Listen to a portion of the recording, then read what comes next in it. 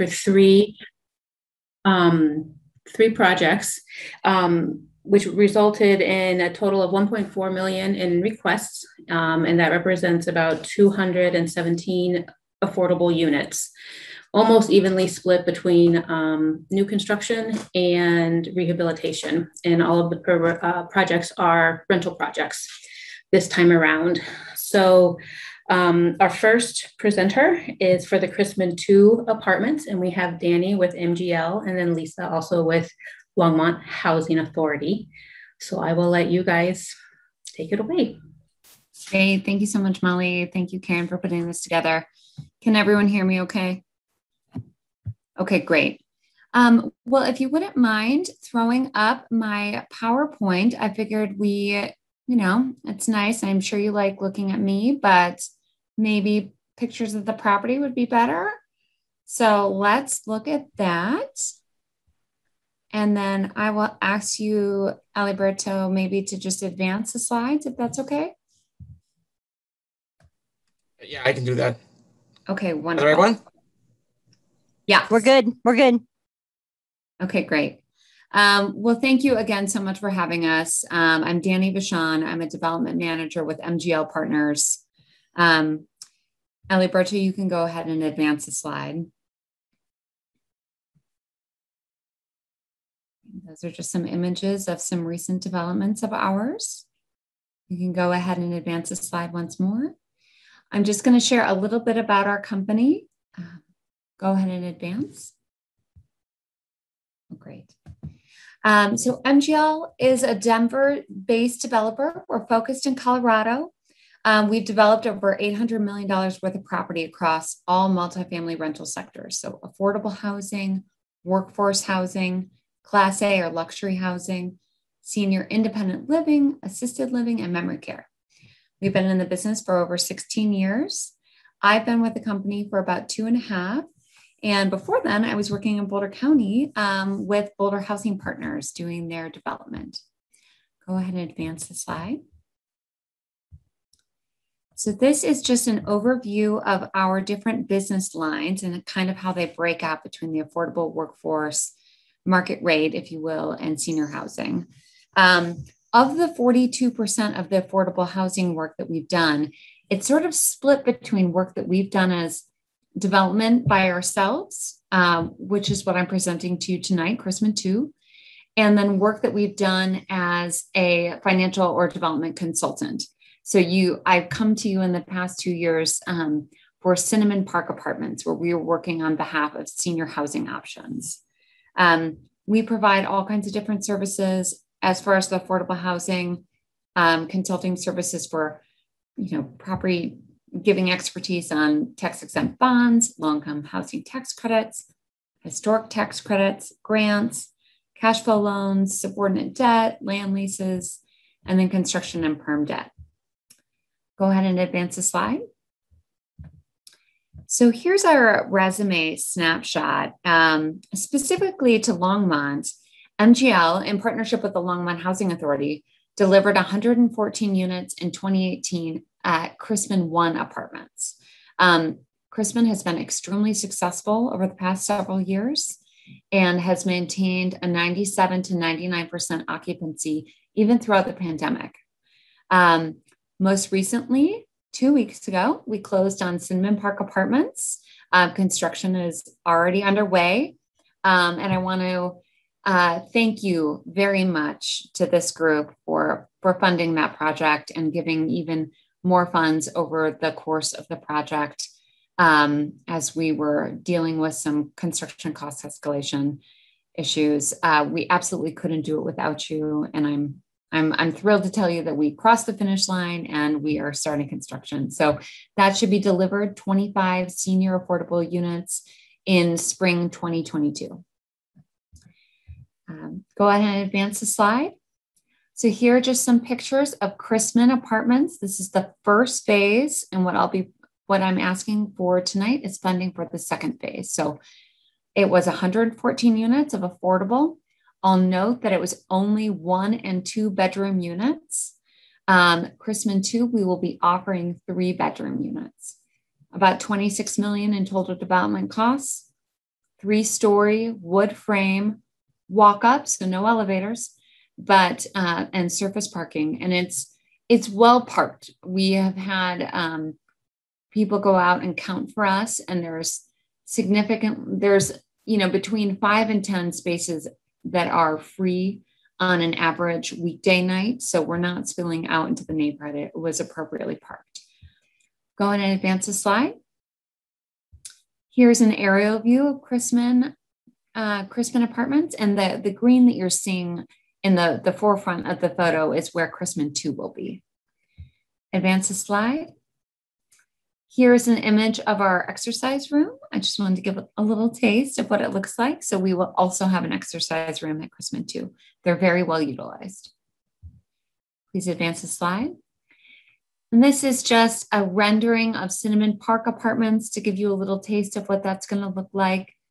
Again, 25 units of affordable senior housing, about a $9.2 million total cost, two story wood frame, this one with an elevator as it's serving seniors and surface parking. Please advance the slide. And here is, um, you can see to the right hand side here where it's the proposed two story building. That's currently a vacant lot. The other two buildings exist as assisted living right now, owned by senior housing options. So this will be a wonderful uh, addition into the neighborhood to kind of fill out the neighborhood. Please advance the slide. So now I'm getting to our request to you tonight, Chrisman 2 Apartments. It is a by right project at 83 units it's going to be 100% affordable family housing, just like Chrisman 1, 36 one bedrooms, 38 two bedrooms, and then nine of those three bedroom units that were not offered but are often requested at Chrisman 1. Um, at the at the request of Longmont Housing Authority and the City of Longmont, we have increased the number of accessible units from five, which is 5%, to 10%. So a total of nine accessible units will be available, and then another two units will be hearing and vision uh, impaired. Um, so the demand, you know, it's really interesting. We are proposing to do an average income project. And for those who don't know what that is, the IRS agreed to allow low income housing tax, tax credit projects to um, to provide housing up to 80% of the area median income. However, the caveat is that the entire project has to average to 60% of AMI or below. So, right now in the greater Longmont primary market area, there aren't any units that have deed restrictions at 70 or 80% of AMI. So, this project will offer both. Um, and across that entire primary market area as well, there are only 18 units at 30% of AMI. This project will offer nine more units at 30% of AMI, which is pretty significant. Um, there were a significant number of units at 60% of AMI. So we, um, while talking with the Longmont Housing Authority and CHFA, we agreed to lower that number and kind of do the barbell approach. So more 70s and 80s, 50s, 40s, 30s. So we are only offering four units at 60% of AMI. Um, but 59% of the overall units are at 50% of AMI or below, which is uh, the majority of people looking for affordable housing. Um, 3.4 acres directly north of that phase one, Chrisman phase one, on Ute Highway, but with a buffer off the highway. Um, there will also be a fence between the apartment and Ute Highway just for safety concerns. Um, and it's in a qualified census tract, which gives us a 30% equity basis boost when we're requesting low income housing tax credits. Please advance the slide. Here's an aerial rendering of what the second phase will look like. So it's going to be four different buildings. And the top of the picture is sort of looking north. I'm sorry, it's, it's sort of looking uh, southeast. So you can sort of tell the Murphy's gas station uh, between the main street and the project, and then this kind of buffer zone out to the to the north um, as you're looking toward Ute Highway. Next slide, please. And here's a little bit more of a view of the project from the exterior. Um, it's going to have balconies, very similar to phase one, a little bit of a different roof line. It's going to have a bit of a pitched roof. That is a cost saving feature that we determined after speaking with our general contractor and our architect. Um, but other than that, it's very similar in all of its features to Chrisman 1. Please advance the slide. So now I'm just going to touch briefly on MGL and LHA's unique partnership. So Chrisman One Apartments, um, we partnered with Longmont Housing Authority as a special limited partner. They received a split of the developer fee and are continuously receiving a split of the cash flow and the deferred developer fee. Um, they will take over management and ownership of Chrisman One and that was part of our negotiation with Chrisman 2. We want them to, we want LHA to take over ownership and management at the same time for both. So LHA agreed to extend that ownership takeover Chrisman 1. So it's the same time as Chrisman 2. We expect that to be in 2028. So our agreement with Chrisman 2, um, with our partnership, so what happened when we finished Chrisman one is we reached out to Longmont Housing Authority and we said, listen, there's this land just to the north. We don't have it under control, but it's available. It's on the market. And at that time, there was some transition going on at the Longmont Housing Authority, and they determined that it was not the best time for them to move forward with another development project. So, fast forward to the beginning of 2021, Longmont Housing Authority reached out to MGL and said, now is a better time. We went ahead and uh, uh, spoke to the broker and the owner of that parcel and got it under contract.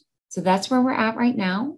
We went in for a uh, we went in for a non-competitive CHFA application together on May 1st, and we were awarded um, competitive bond cap from CHFA, and we will be receiving our non competitive award of tax credits imminently. Um, we together we determined that it was the best course of action to go forward with a 4% non-competitive application to CHFA due to the high risk of not getting an award in the state tax credit round, which is annually every August um, Longmont decided that they wanted the delivery of units before then. And in exchange, they were helping us, they will help us kind of cover that gap that the state tax credit would um, typically fund. So that's where we're kind of at today. Like I mentioned before, we have that coterminous exit date for the ownership and management. Uh, we expect that to be about four years after Chrisman 2 stabilizes. Again, just like Chrisman 1, LHA will have this a significant share of both the developer fee and the cash flow of the project. And LHA has, because we're getting in at the very beginning here, they have a lot of influence over the design, the unit mix, and uh, the AMI level served. Please advance the slide. So, lastly, I'm going to talk about our specific request. So, we have requested $950,000 and it's split between $600,000 in affordable housing funds and $350,000 of CDBG funds. Um, if you can see off to the right, when I originally went into CHFA with our application, we said that we thought we might be able to we thought we might need 1.2 million from Longmont Housing Authority. This number is a number that I will get into, but we expect over time that pricing will kind of level out on the construction pricing. Right now, we have a construction escalation line item in our development budget. We hope that we don't need to use all of that. We hope that lumber pricing and other kind of commodity pricing will just level out in the next several months as everything starts opening back up after COVID. Um, the other thing is corporate tax liabilities have been very low over the past year and a half due to the pandemic. And that has put pressure down and decreased um, the demand for low income housing tax credits from large corporations. So they have, you know, taken down the price because it's not as nearly in high demand. So, one, we expect construction costs to kind of start, um, you know, at least plateauing, and then we believe that our um, our tax credit pricing will increase over time. We also think that rents will increase. We were very conservative on our rents. So we also hope that those increase. Lastly, um, it's possible that the Longmont Housing Authority will have vouchers that they are able to put on this project, which would also help with cash flow and decreasing our overall ask for funding. Um, let's see, what else do I have on here? Uh, the other very important thing to note is that uh, because we are building phase one and phase two, very side by side projects, there's a lot of efficiencies that we can realize, mainly in our property management and maintenance budgets, but also in kind of the sharing of outdoor amenity space and parking if need be. Um, I don't think that that will be an issue based on what I said before. Um, but it, it really is an opportunity to kind of have some efficiencies. And please advance the slide. And this is just my contact information. Um, and I'll open it up for questions. with us. Thanks, Danny. Are there questions from staff or board members? Graham. Yeah, hi. Thank you, Danny, for your time and presentation. Of course. Um, I, I guess I'm a little confused about the cash flow repayment of the, the 600,000, um, particularly, especially You- given that Longmont Housing Authority will be an owner. You said 2028, Mhm. and based on your construction schedule, you think units will be available 2024. So is the idea that if it all works out according to your your budgeting, the cash flow would happen and you would repay City of Longmont in that four years before Housing Authority absorbed it? No, it would be a long term cash flow note. So it would just be paid, it would be absorbed by the new ownership, Longmont Housing Authority, and they would just continue to pay the cash flow note unless they unless Kathy, you have a different idea, but I was assuming it would just be continuously paid through the cash flow um, just the same it was originally um, underwritten. Okay, thank you. Other questions?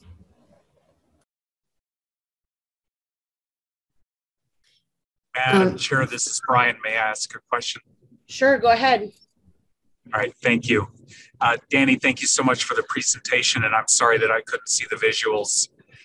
Um, can you, I'm not familiar with your organization. Could you speak a little bit to the, the way that low income housing fits into your mission as a, an organization and as a developer? Of course. So, um, MGL Partners is uh, made of Mike Gerber, Greg Glade and Lisa Mullins, they were all partners together at a firm called Black Creek in Denver doing high end market rate development. And about 16 years ago, they decided that they wanted to have more of a mission based company. However, they still wanted to be a for profit entity. So they um, they started MGL Partners, and I would say for the first several years of our existence, we only did affordable housing. Um, now we have kind of, um, so over those 16 years, different opportunities have arisen and um, different investors have come on board. And so we've kind of branched out to the several different um, kinds of rental multifamily. So the market rate, the workforce housing, and the senior living. But right now, about 42% of our entire portfolio is affordable housing. So we really focus on developing LIHTC housing. Um, currently, we have about seven different projects that we are, are in various different um, stages of development uh, and under construction, and that ranges from new construction all the way to deep renovation. Um, and then we also work in capacity as a, and that those are not just as MGL as the developer. We are developers, but then we also work as a um, development consultant and a financial consultant for nonprofits and housing authorities. That is the lion's share of our affordable housing business. So the, the seven projects going right now are a combination of MGL owned properties as well as um, properties that we're working as a development consultant on. That's very helpful. Thank you. Of course. Kathy, I think you might have had a question or a comment. Yeah, Danny, when you said that the um, Chrisman one is well parked, did you get a parking reduction for that at all, or does it just meet that we code? did. I think it met code, Okay. but we had the property manager go out. I think it was about a month ago and count on a weeknight. And there were between five and 10 spaces open over the course of, I think, like two different nights that she counted.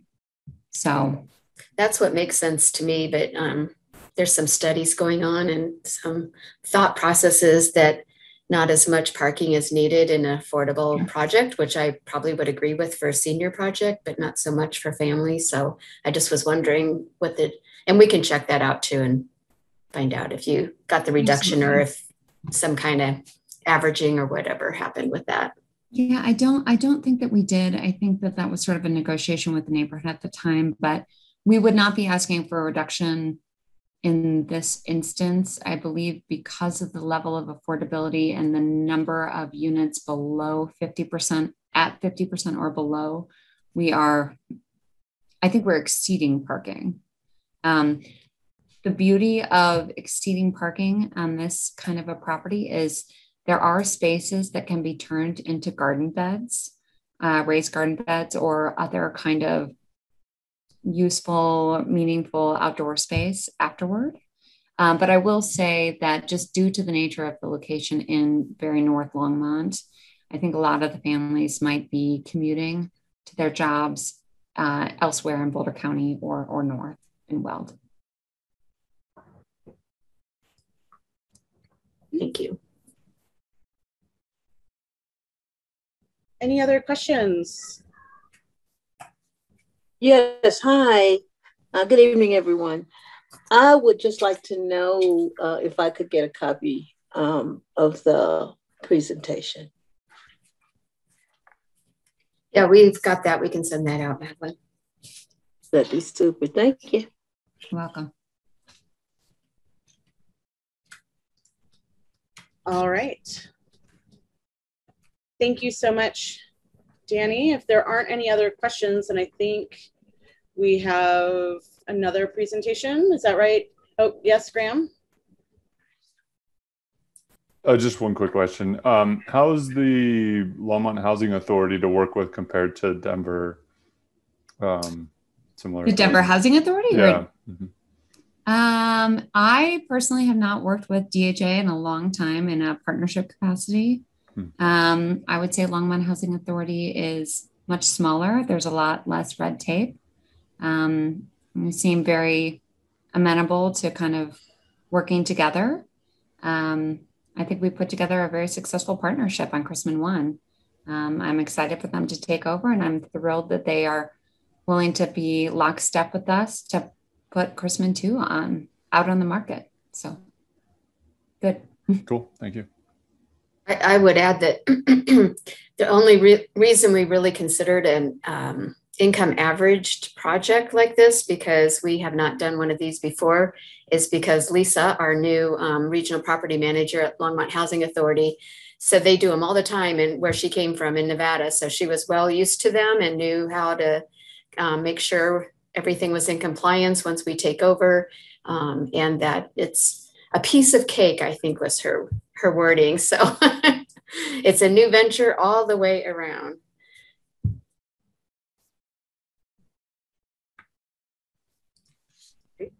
I'll add one quick thing about the average income.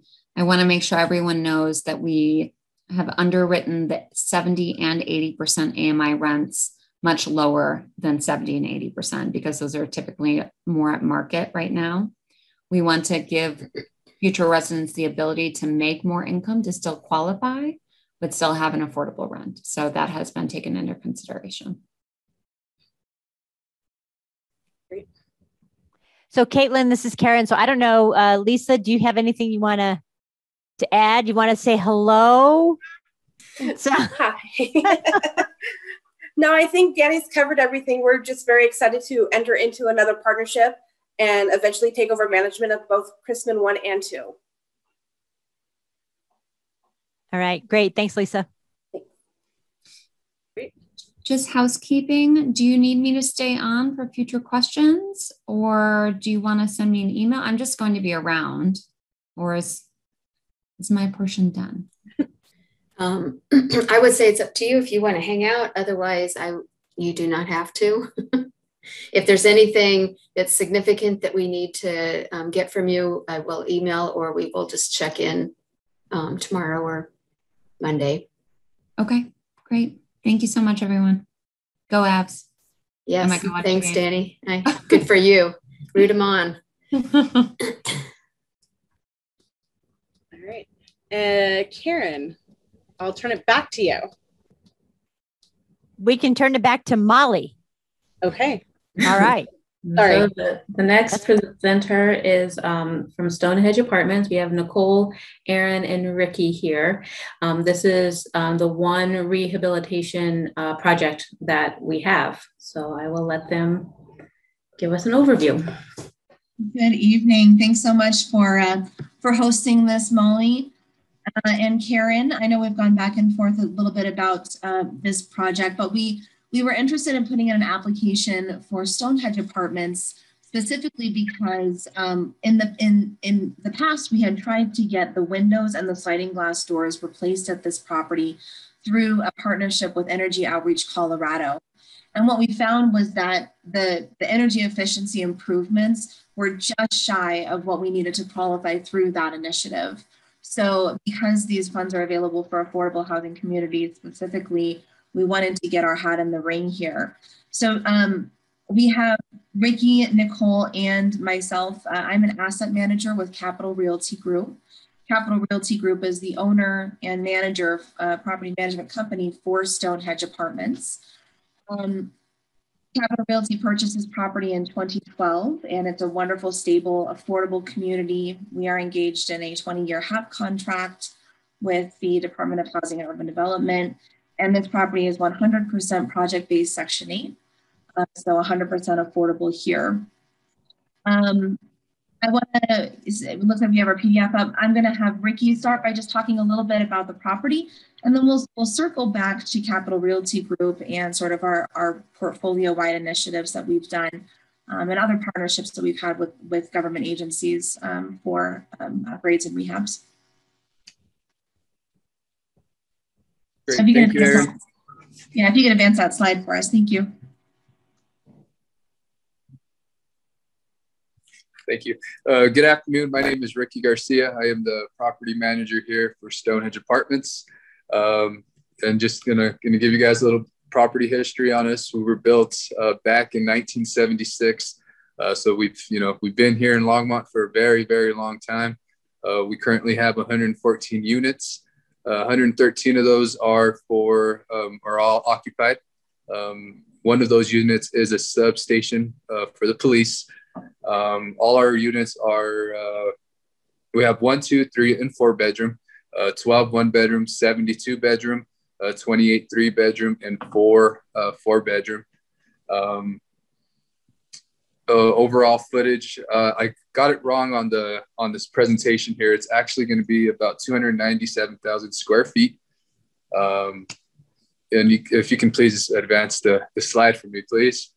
Um, these are just some quick pictures of you know what the inside of our units look like. Um, you know, as I said, they're townhouse townhome style. So got the bottom floor, living room, kitchen, and then of course, uh, you know, you go upstairs, you got your two bedrooms and your restroom. Uh, if you could uh, advance the slide.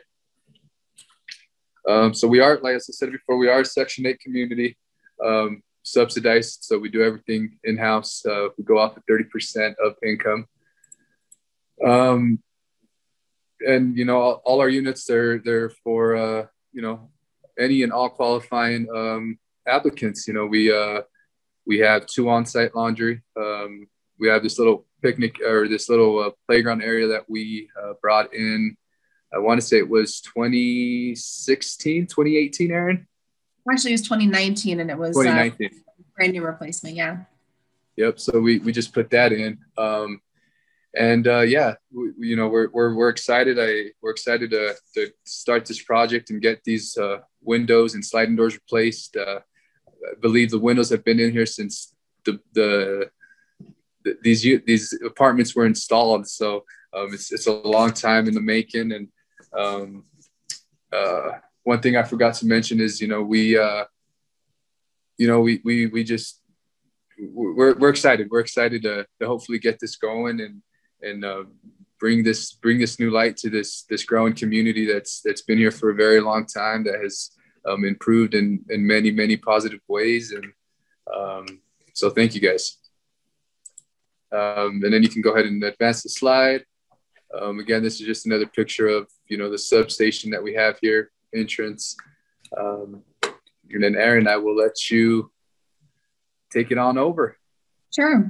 So and with Capital Realty Group, we own about 15,000 units across the country. 100% of our portfolio uh, is affordable. Um, all of our properties are involved in at least one layer of affordability, if not um, you know, Section 8 and LIHTC combined, or uh, Section, you know, 202 PRAC, things like that as well.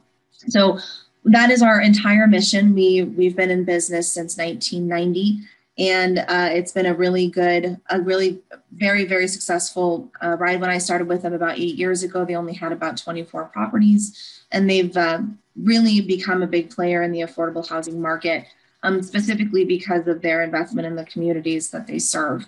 So in this case, um, you know, one of the reasons why we wanted to come to the city to appeal for funds for this project is specifically because the residents uh, pay the utility costs here. So in 2017, we had done an extensive survey with the uh, Energy Outreach Colorado and a couple of other um, rebate consultant agencies as well, just to see what our options were.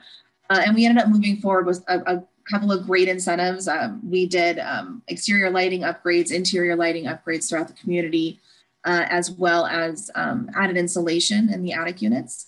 Uh, but company wide, we work with local governments and, and um, energy efficiency, uh, utility companies, and so on very, very frequently all the time. Um, in Denver, right now, we own a, a senior facility, affordable, called uh, Tower at Spear. Um, that's 172 units that serve seniors and disabled folks.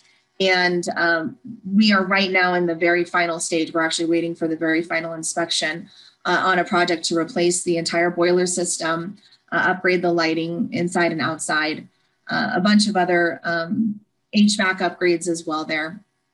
Uh, all, all in this partnership between Energy Outreach Colorado as well as the City of Denver and um, the Department of Energy. Uh, so this is something that we, you know, it's kind of our bread and butter. We were very surprised to hear that at Stonehenge, the windows and sliding glass doors didn't quite fit into the metric uh, to get this approved in when we did that survey. Uh, however, we think that the benefits of this of this work is going to enormously benefit our residents. Uh, as I said, the residents are responsible for uh, paying the electric utility here. And although the, the rent is offset by that utility allowance, of course, uh, we still know that if we can increase the energy efficiency of the windows and sliding glass doors, uh, it's going to lower that utility bill for them, which you know we hear is a big priority from our residents. So with all of that in mind, um, obviously this is a much more straightforward request than um, the other two uh, new construction projects, but I'll open it up for questions about, about Stonehenge or Capital or anything else. Great, thanks, Aaron. Graham, I see a hand. And virtual hand, thank you. Um, yeah, thank you, uh, Aaron and Ricky. I'm curious to understand your um, the organizations for this uh, this property, prudent reserve or maintenance funds. Um, do you set aside money every year for these kinds of improvements? Yeah, we do. Um, we utilize those the the reserve funds, and I had actually sent Molly. I think it was a little bit late in the afternoon here, so I don't know if she had a chance to review what I had attached, but we sent her our most recent reserve draw. So you see that that money is being utilized pretty regularly. We do, you know, quarterly draws on that. Um, we invest pretty heavily in the community. So unfortunately, you know, this is this is outside of uh, the um, standard R and R that we might have in that in that balance. And do you have um, proposals from contractors to do the work and provide the windows? Yeah, we do. Um, I had sent a couple of pretty outdated ones just from the last time that we looked into this option. Um, but but yes, we have partnerships with national window suppliers to make this process quite easy, unless you know, because many times when we work with local agencies, one of the requirements is that we use a network of preferred vendors, which is perfectly fine as well. In this case, I think that's pretty, from what I'm understanding, that's pretty open ended, which is great. Good, thank you. Um, I have a question, Aaron. So um, those bids are from 2016, um, and it looks like the request for funding is sort of at the high end of what the bids were. Um, what is the plan if um, the current costs for doing that actually, you know, exceeds this grant money? Um, what what commitment does you know the management company have for making up any additional costs? Yeah, great question. I spoke with the owners about this directly. So of course, as you know, Danny was talking about in the previous presentation, material costs and the variability there on those costs is a huge factor right now. I also share the optimism that those commodity costs will uh, lower, will stabilize.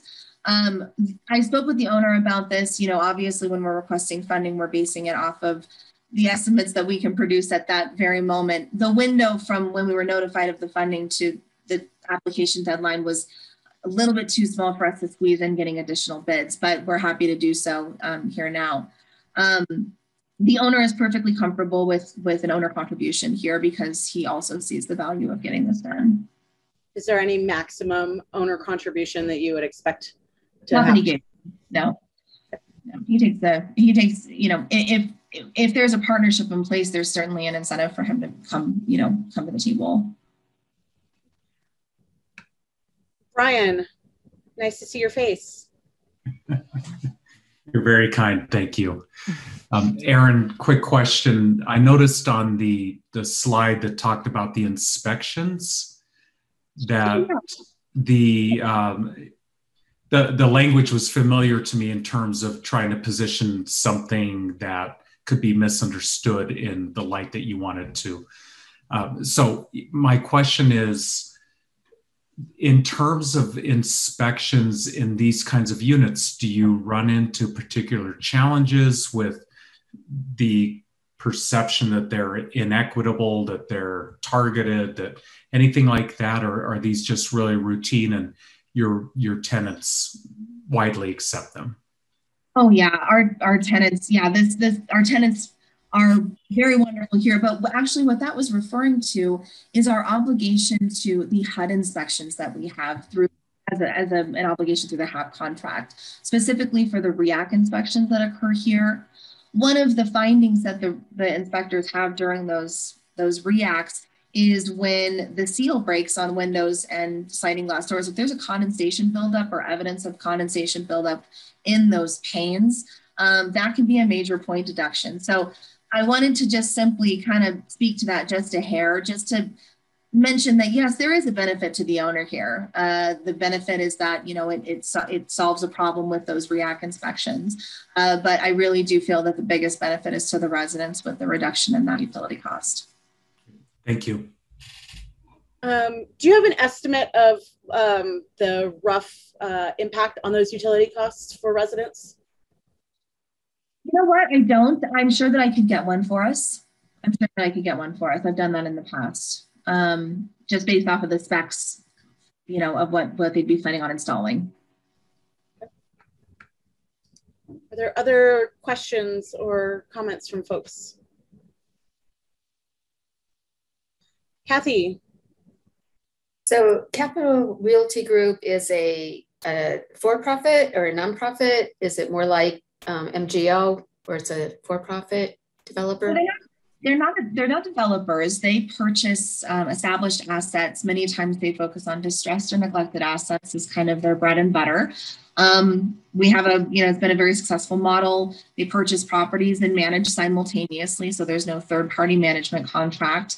Um, the biggest benefits in the owner's mind of doing it that way is that there's a direct connection between the ownership and the property operations. So um, very successful model they are a, a for-profit entity, but 100% of their portfolio is engaged in those HAP contracts um, around the country. Okay. Um, and then on our staff analysis, under accessibility, it shows 113 units. Are all 113 fully ADA accessible, or how many do you have?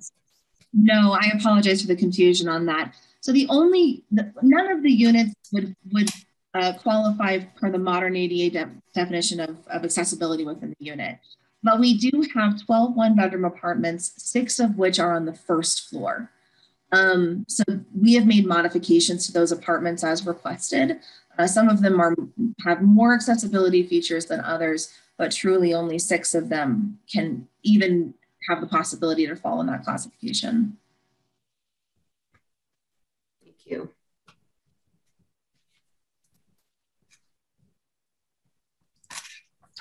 Other questions from folks? All right. Thank you, Aaron and Ricky. And Molly, I will turn it back to you for our next presentation. And, and Nicole, Nicole was on here too. We didn't really get to. Nicole, did you want to say anything or?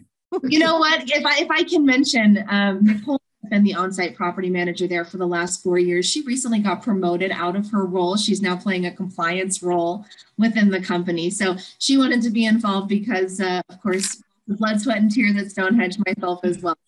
I'm sorry, Nicole, you didn't have a, a, a opportunity to say a whole lot, but. that's that's okay. I'm happy to be here. You know, Stonehenge is my baby, and I want to see it succeed. So I'm here for moral support today, I guess. Good job, guys. Thanks all very much. We appreciate it. Okay, so Nicole and Aaron and Ricky, you can uh, leave the building unless you're dying to stay, and then we'll move on to the next presentation. Thanks very much. Thanks so much. We appreciate Good night. it. Thank you. So our last presentation is um, from Sunset Element for their Sunset Heights project, which is over um, near the suites. Um, and will be new construction. And I know that Kevin is here and Scott and Chris. So you guys can go ahead. And and Catherine was on early, so um, hopefully she she comes back. she said she'd be back at seven forty five, so I'll watch for her too. Kevin, you're on mute.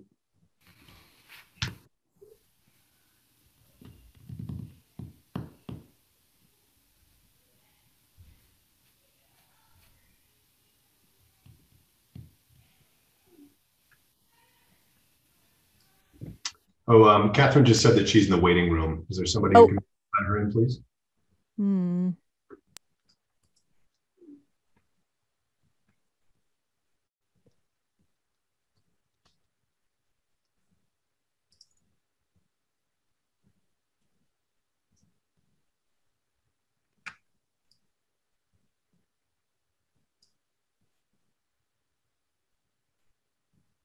Were you able to let her in? I am right now. Okay.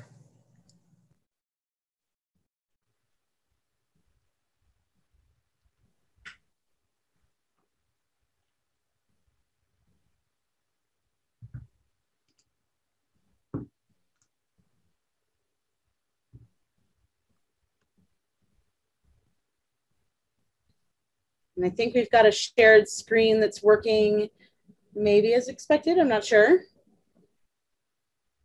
Might be uh, might be working too well. So let's just give Kevin a second to uh, organize himself. Okay.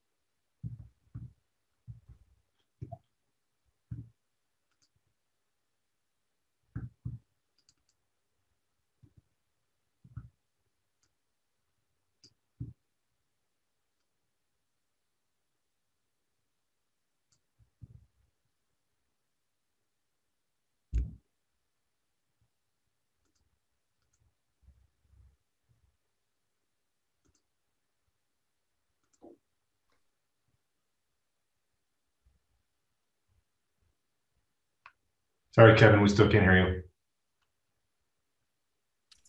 And it doesn't look like you're muted, Kevin, so it might just have the wrong microphone on for your audio. Okay, how about that one? Good. We can hear you. Good. Sorry about that. Uh, let's get moving. Uh, I'm Kevin Knapp, uh, and this is a presentation for Sunset Heights. I'd like to start with a quick overview of the project. Sunset Heights is designed to be a permanent supportive housing community for individuals that have experienced homelessness.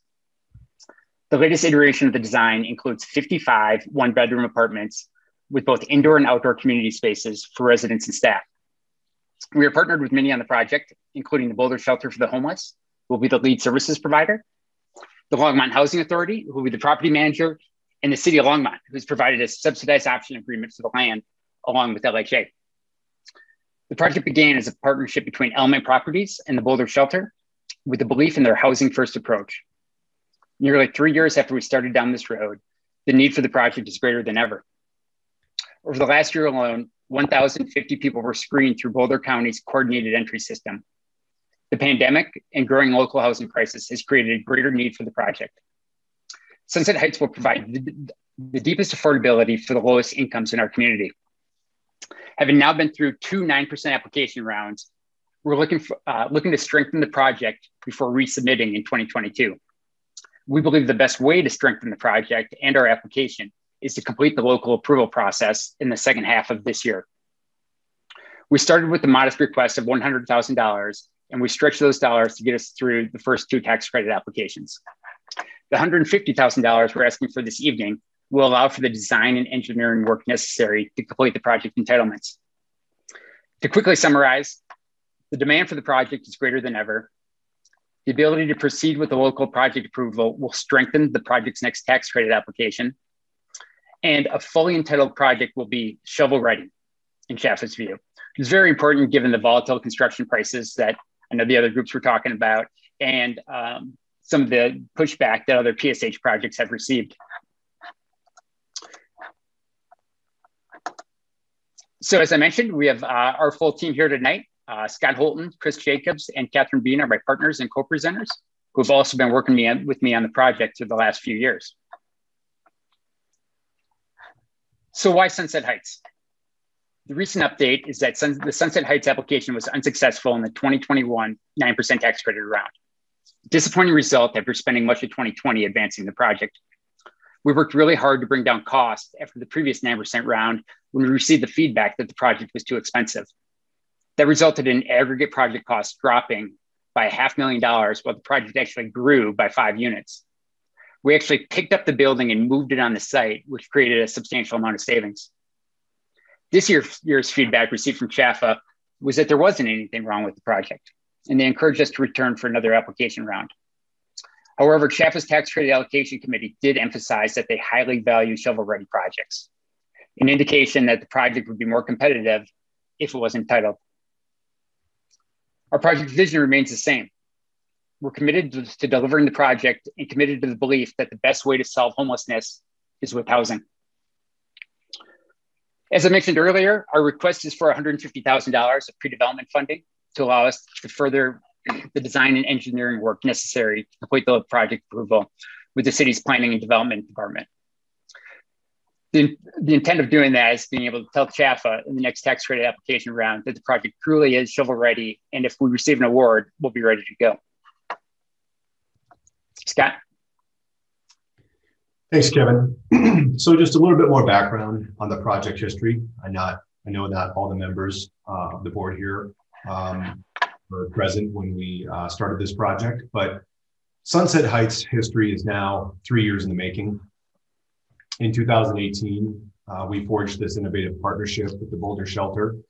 It was really a, a pitch um, to their board uh, between myself and Kevin uh, that Element was able to sign an agreement for partnership with the shelter, and we were on our way to work together with them to pursue ways to house people experiencing homelessness in Boulder County. And shortly thereafter, uh, we were able to secure sites in both Longmont and Boulder for permanently supportive housing.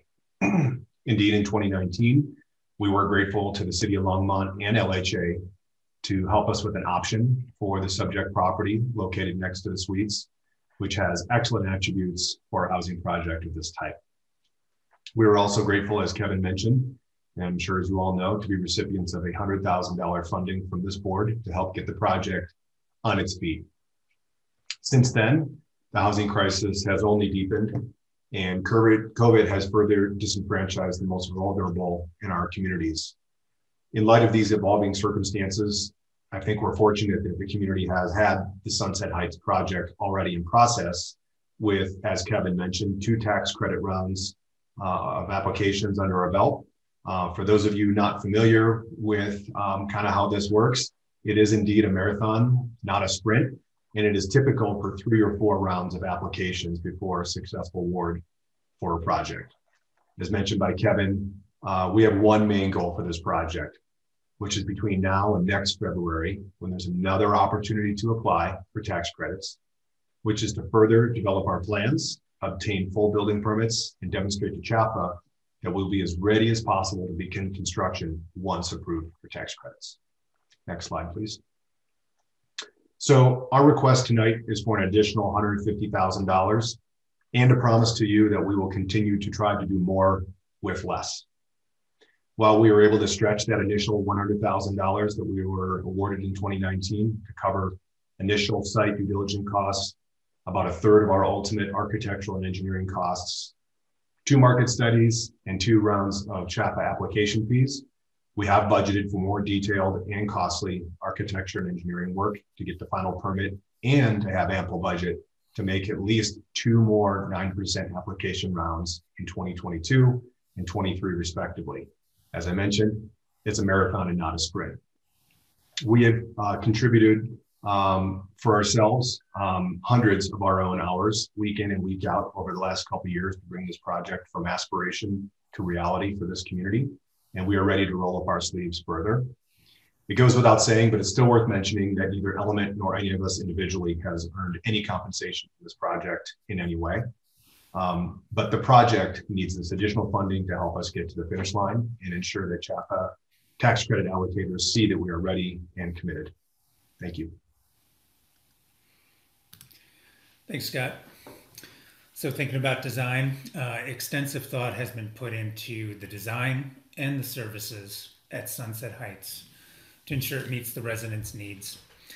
Sunset Heights brings together Colorado's most accomplished professionals in designing supportive housing. Um, included on the team are Shopworks Architecture and Beau Simone Consulting. Each are among the country's leaders in designing housing for those who have experienced trauma, and their expertise shows through in the building design as well as in the resident service programming. Additionally, as uh, Kevin mentioned, Sunset Heights will enjoy the expertise of an experienced operating team Longmont Housing Authority will be our property manager, and the Boulder Shelter will be the lead services provider. Just to put it all together, all staff at Sunset Heights will receive extensive training from Beau Simone Consulting. We're certainly excited to have what feels like a dream team for Sunset Heights. Depicted in the uh, graphic on the right, all aspects of the project are designed to give residents the four C's choice, control, comfort, and community. Best practices in permanent supportive housing and trauma informed design have been incorporated into every aspect of the project to serve future residents. And we believe Sunset Heights will be a project that Longmont will be proud to have in their community. On the next slide, just some examples of affordable housing communities that Element has developed. Each of us on the team here had affordable housing experience prior to joining Element. It's a passion of ours, and we've worked diligently together to create long term affordable housing options in our community. Uh, the first one pictured there is Nest Communities. Uh, we've converted an existing 238 unit portfolio across several buildings from market rate into permanently affordable apartments using tax credits and in partnership with the City of Boulder.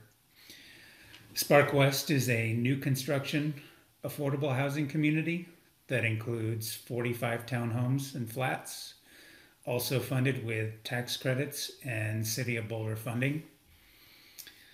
The next one is Ciclo, which is a new construction mixed use development that included 38 permanently affordable apartments. Uh, was built in partnership with Boulder Housing Partners and was funded with tax credits. And finally, up here we have Trinity Commons, which is a mixed use development that included meeting space for Trinity Lutheran Church, um, a City of Boulder owned parking garage, and 15 senior affordable apartments. Element is extremely excited to bring our experience, our passion, and our energy to Sunset Heights. Next, Catherine, I'll hand it off to you for community collaboration.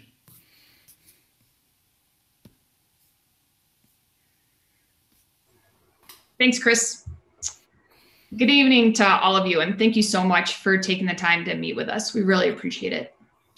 In our experience, all successful projects rely on great partnerships. We intentionally built the best team for a brand new permanent supportive housing project in Longmont. The shelter will be the service provider. They have an excellent statewide reputation based on results with this community. The city of Longmont has provided pre-development funds and the land. LHA has provided the land and will serve as the property manager going forward.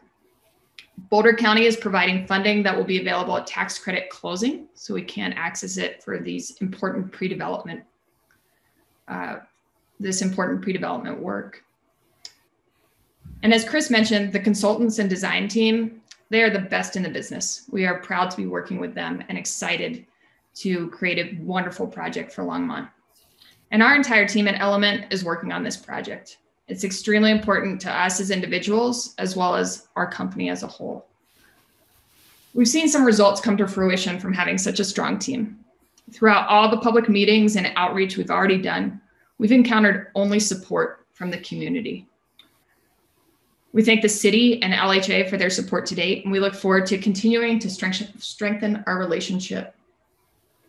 And I'll wrap with the three key reasons we're asking for these funds. One, the need for housing the homeless is greater than ever, especially considering the impacts of COVID. Two, we need to move the project forward by obtaining permits, which is an expensive process. And three, by obtaining permits, the project will be more competitive in CHFA's eyes. This is a really difficult project, and some funding support from Longmont will give it a fighting chance. We welcome your questions now. Thank you. Uh, excuse me, any questions or comments from folks, board or staff? So do you want to go ahead and take down your um, slide presentation?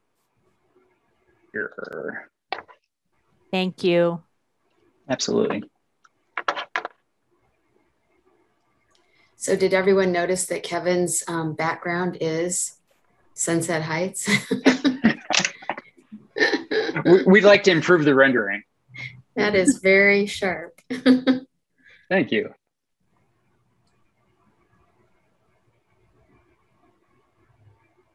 Yes, Brian.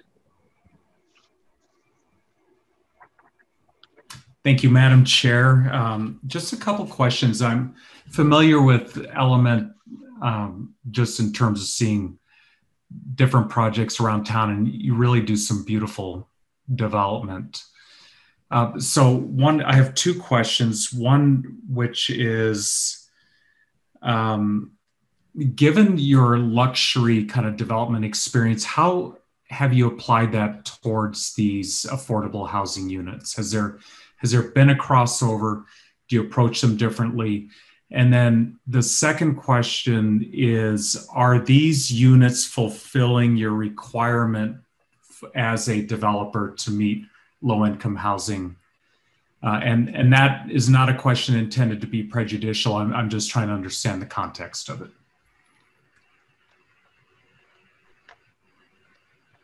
I'm happy to. Go ahead, Catherine. Please, after you. Yeah. Um, Everybody at once. I think I can tackle the second part really quickly. no, this isn't uh, meeting a requirement. Um, affordable housing projects are important to our entire team. All four of us have backgrounds in affordable housing. Uh, we care about what it, it does for our community and the vibrancy that it, that it brings. So um, this is this is a part of our business. Um, over half of our our company's work in the last five years has been affordable housing. So um, I'd say it's just as much of who we are as some of the luxury work. And in, in regards to what lessons do we bring from um, some of our higher end townhome projects and, and that sort of thing, we care a lot about design. And we also know that something doesn't have to be expensive just to be beautiful. Um, I think everyone here knows that getting a project done on budget any construction project can be difficult. And so those best practices of, of managing a project tightly, whether it's a larger budget at the outset or a smaller one, but managing a budget well, managing a contractor well, hiring the right team, um, working diligently to make sure that what the vision everyone has in their minds at the outset comes to fruition are, are practices that we take across our entire company's portfolio. That's great. Thank you, Catherine. I'd love to add one thing if I could, Brian, um, and I really appreciate the question. Um, we've actually done more affordable housing than we have of other types of housing. Um, you use the word luxury. We actually specifically don't use that word because we feel like it's divisive and we feel like you know the words are really important around you know the types of properties that we develop and how we communicate um, the purpose of those projects to the community. Um, just as an example, um, for some of the buildings that we managed that we own, um, about 10 years ago, we uh, stopped using the word tenants and we switched to exclusively using the word residents. And we just felt like that gave everybody who lived in the building a, a greater sense of ownership. We stopped calling, um, you know, apartment um, residences, we stopped calling them units and we started calling them homes and residences. And we just, we really learned a lot um, just with that diverse type of housing that we did, whether it was, you know, um, helping somebody, you know, buy a, a retirement townhome that was, you know, downtown and walkable and had very nice finishes. Yes, many people would call it luxury, um, and that's fine. Um, but you know, doing you know diverse types of projects, you know, whether it's uh, that type of project or a PSH project or a workforce project, we're always just we're trying to help somebody um, achieve something, and uh, it's about people, and um, and the language is really important to us. So I appreciate the question. Thank you very much. Thank you, Scott.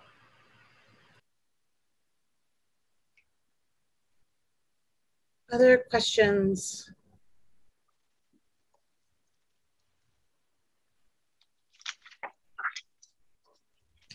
All right. Thank you all for the presentation and additional information. It's very much appreciated. S sounds like people are trying to get to the hockey game. and it depends. you know, Kevin, I think it would be helpful. One of the um, one of the board members asked for us to send out copies of the presentation. So I don't think we have your slide deck. So if you could send that to um, Molly or Kathy or whatever, um, and then we will include that in our follow up to the board. Yeah, absolutely, Karen. I, I did send it to Molly earlier, so. Oh, okay. Uh, never mind. She can never distribute. Mind. Nope, uh, feel she's free got it. To, cool. Yep, never mind.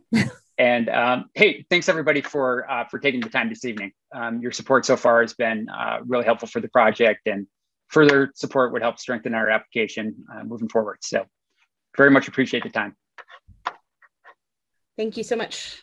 Brian, did you have something you wanted to add? You have your. Well, I did, Madam Chair. Thank you. Um, All right. Thank I, you. I just wanted to thank you because I do actually have a, a design background and I believe that good design can be inspiring in any environment. And I feel like what is missing from so many affordable environments is actually inspiration. So uh, I'm glad to hear that your design ethics are transferring over and, and creating the same level of inspiration and joy that uh, we experience through all kinds of homes.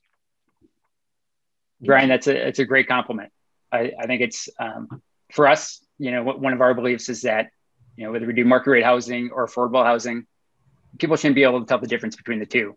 And especially in a project like this, I mean, it comes down to the dignity for the residents.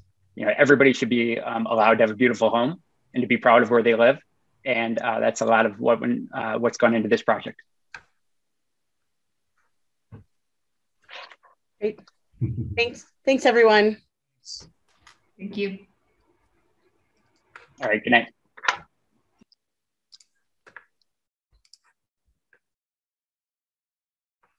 All right. Um, Karen, what is, or Molly, I guess, what is our next step here with respect to these applications? Um, to make a funding recommendation. Okay. Or to add, if you have any questions, of course, to, to ask those as well. Okay. That's what I suspected, but I wanted to be sure. so um, are there comments or questions for staff? Um, Graham, go ahead.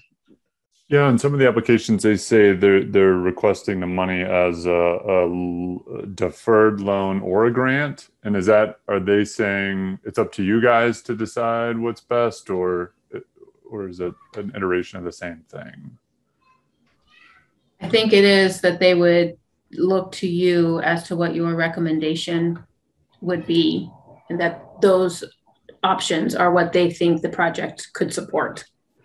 So there, I mean, then there is a difference between just a straight grant, which the way they wouldn't have to pay back, and then the deferred loan at some point would be paid back. Okay. So, oh, go ahead, Karen. So, um, so s- since this is really the first time that the uh, advisory board has really been on the ground floor of making these recommendations. So typically for the last I don't know, what did we say, 15 years? Um, you know, this this initial work and review has been accomplished by the technical review group. So I guess what I would also do is invite staff, so Kathy and Molly, to um, to really help guide the um, this discussion. Great. Yeah. Yep. So I was just going to say, Graham, uh, you, we do have a. Um, with that, to um, you know, to help with some guidance.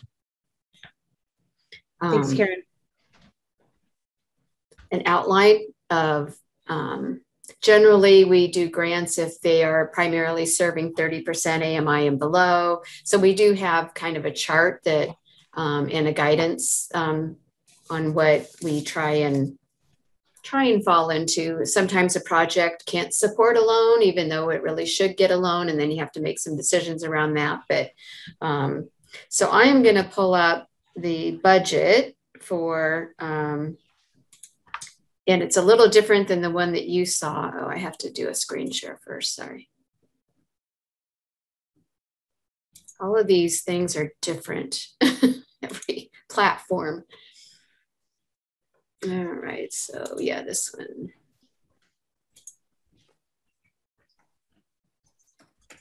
Okay, so this um, is a little bit updated from um, what went out in your packet, just because we keep refining things and finding other things.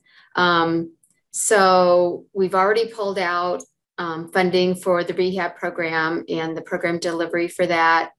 We've already pulled out um, a set aside for housing counseling program and to continue the security and utility deposit um, for um, homeless solutions for Boulder County and the funding that Human Service Agency is providing to uh, as locally funded vouchers. So those that would support that program. And then the other thing we've already pulled out is the ongoing payment that we have to purchase the land, uh, nine acres of land at um, the Costco development that the city will um, be working on on developing in partnership with, I'm sure, several different agencies and entities. And then if you remember, um, late last year, I think it was, um, it, the Imagine Rehab Project came in, and the consensus of the group was to fund it with 2021 funds because they weren't going to be ready, I think was the reason. Um, and so that has been pulled out. Um, and that would be a grant because of who they're serving um, with CDBG funds. So, um, the well, yeah, the only thing that would change that is if they can't support um, paying Davis Bacon wage rate. So we'll have to check into that. Actually, I think they fall below that limit for that. So just taking a stab at things. Um, if we keep the rehab, Imagine Rehab project in CDBG, then the balance left is $342,444. Um, right now, I've penciled that totally for Chrisman um, land acquisition per their um, $350,000 request um, as a grant. Um, and then 600 over here in the Affordable Housing Fund um, for that same project. Stonehenge, I have put in at 150,000. I am personally a little concerned, and I'd be happy to listen to thoughts that others might have that they are at this point haven't put up any of their own. Um, they are operating the project as a for profit. Um, having a 100% voucher um, supported project, they should have a lot of cash, sufficient cash to have much more reserves than what they have. Um, and I'm assuming what happened when they um, acquired it is that they did not go in and do a rehab at that point in time and have been just using the reserves to do rehab. Um, I don't know um, why they did it that way, but anyway, that's where we're at at this point. Um, and then 150 for the sunset element so that they can continue to um, get their project through the development process and ready for permit pulling that I think probably would make a huge difference when they go into CHFA again um, for that.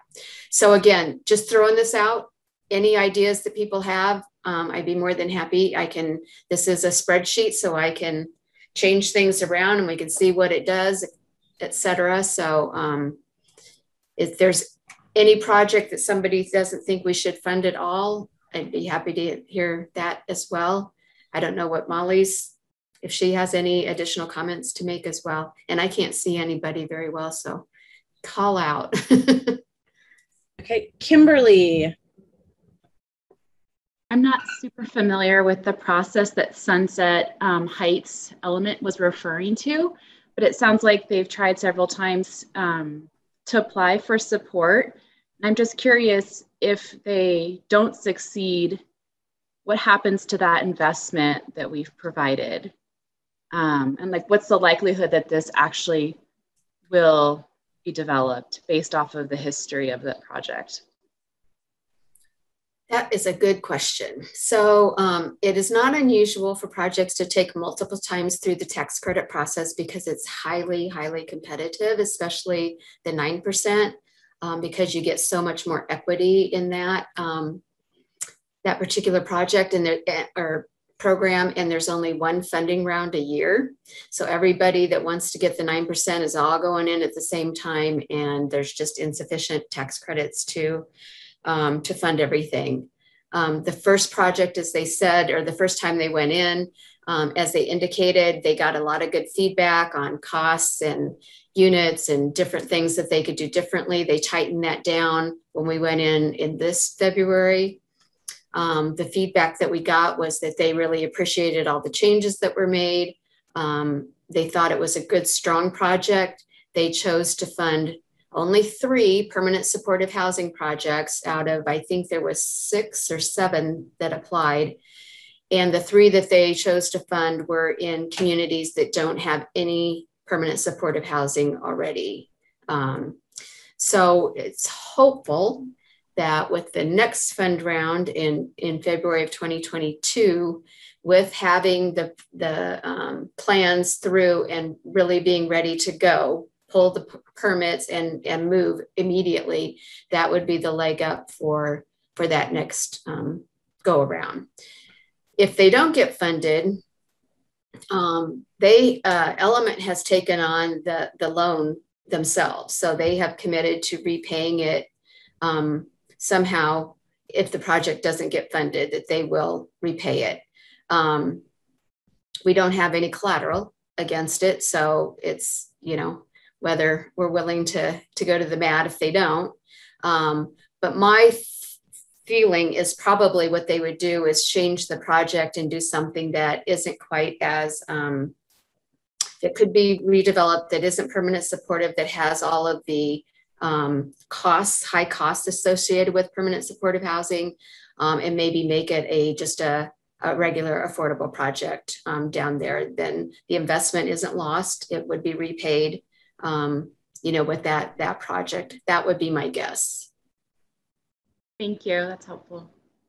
That's, that is really helpful. And is is my understanding correct? I think I read it in there. Is that their hope with this 150,000 is really to keep moving forward on all the permits and design pieces um, under the assumption that basically by having those ready to go, they're more likely to get this 9%.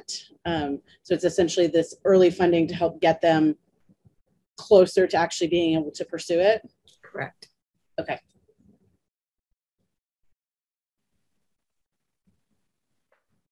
Other questions or comments? Brian? Thank you. Uh, Kathy, can you remind me, are the affordable housing funds a loan or a grant? So the Affordable Housing Fund has to be loan unless we ask council specifically to allow us to grant them.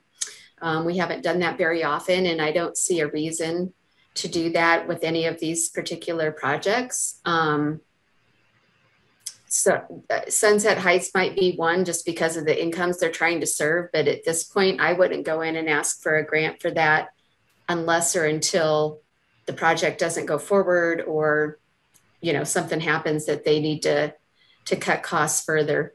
Um, making it a loan for Chrisman, they're going to loan it into the partnership anyway, so that it becomes part of the equity and the basis points.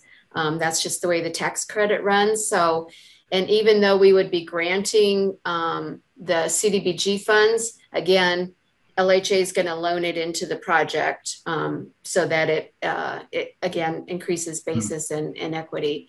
Um, so those will eventually get repaid. The 600,000, the Affordable Housing Fund loan would get repaid back to the city. Granting the CDBG funds and them loaning it into the project will get it repaid to the LHA, but that won't come back to the city. So it's kind of benefiting oh. the housing authority in that respect. So it's supporting the project in a little bit different way. Yeah. Okay, Karen Phillips. So the uh, Stonehenge, would that be then uh, uh, a loan? So yes, I would suggest it could be a deferred loan repaid in X number of years or when they next time they refinance it. Um, it could be a very low interest rate loan repaid over a longer period of time, even at 0%, since they are serving we didn't get good data on actually what AMIs that they're serving. They just said 50% and below. Have you ever been to those apartments? They they need the help. they they need that work. Yeah, I think they I think they actually have invested um, since they have taken over um, in the property, probably more so than has been for a while.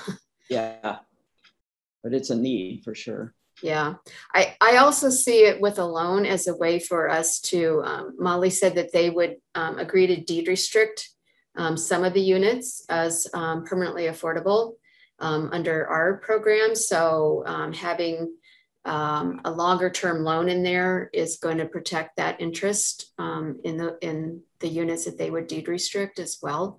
So we would have more, I don't want to say say, but we would have more we would be hearing if they if and when they refinance if they do anything um, different with the property we would be able to find out more quickly because we would have a lien on the property with a loan. Cool. Thank you. Just would add we didn't actually talk they said they would be interested they would be willing to have a period of affordability. We haven't actually talked about what that length of period of affordability would be. Their current HUD contract goes through 2031.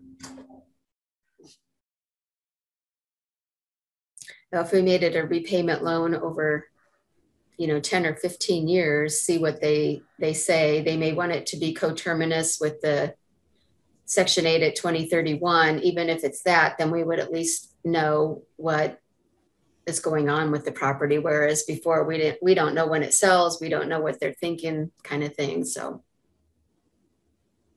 Ram.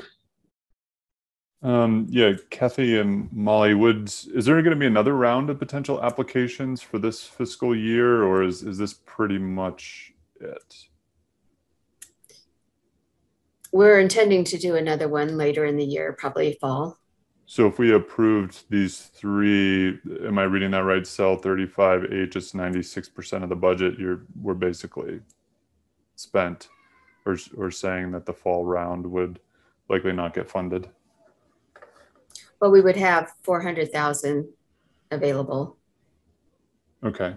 Does it, would that make you nervous given your history of funding rounds and previous year's budget? Should we, should we try to be really cautious now because there's another round coming where we could get more bang for our buck or, or you know, do you think it would be reckless if we approved all these three, given the the volume of the budget it would eat up right away?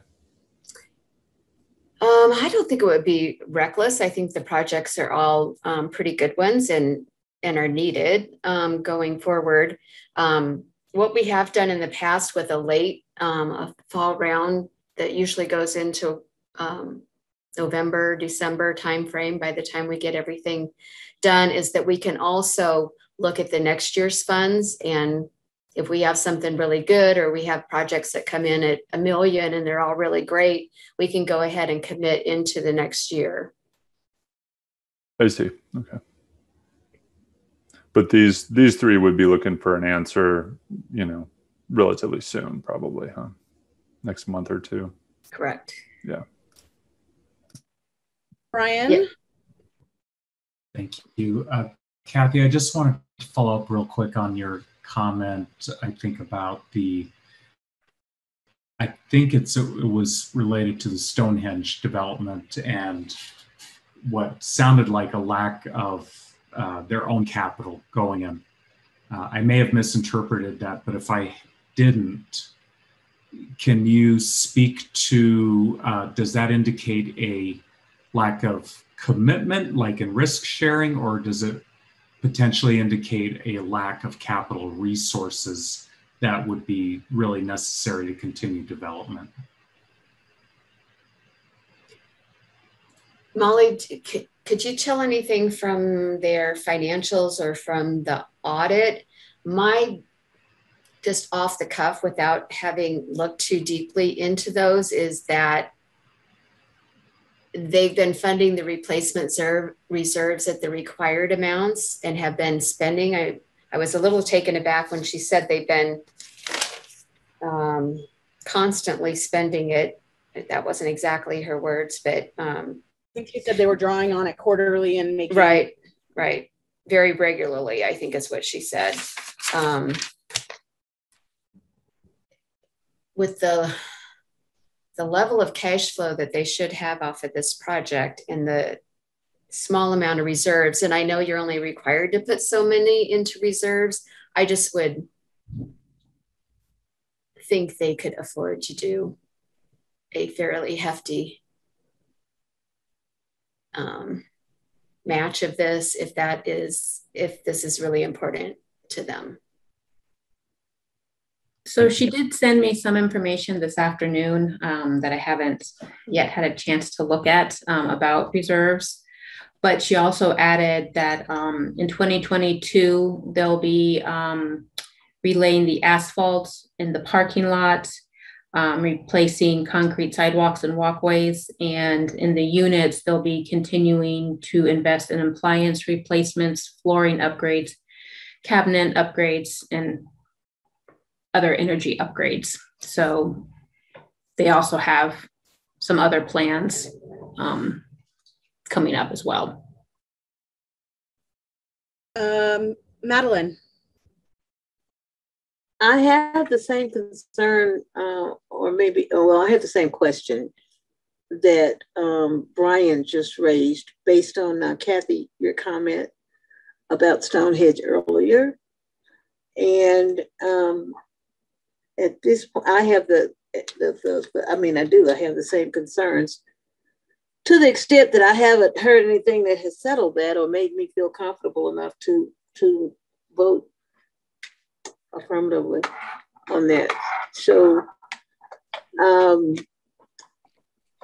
I guess I'm going to be listening for others' thoughts and recommendations because I don't like with something this important. I just want my vote to count and I want to make the right decision.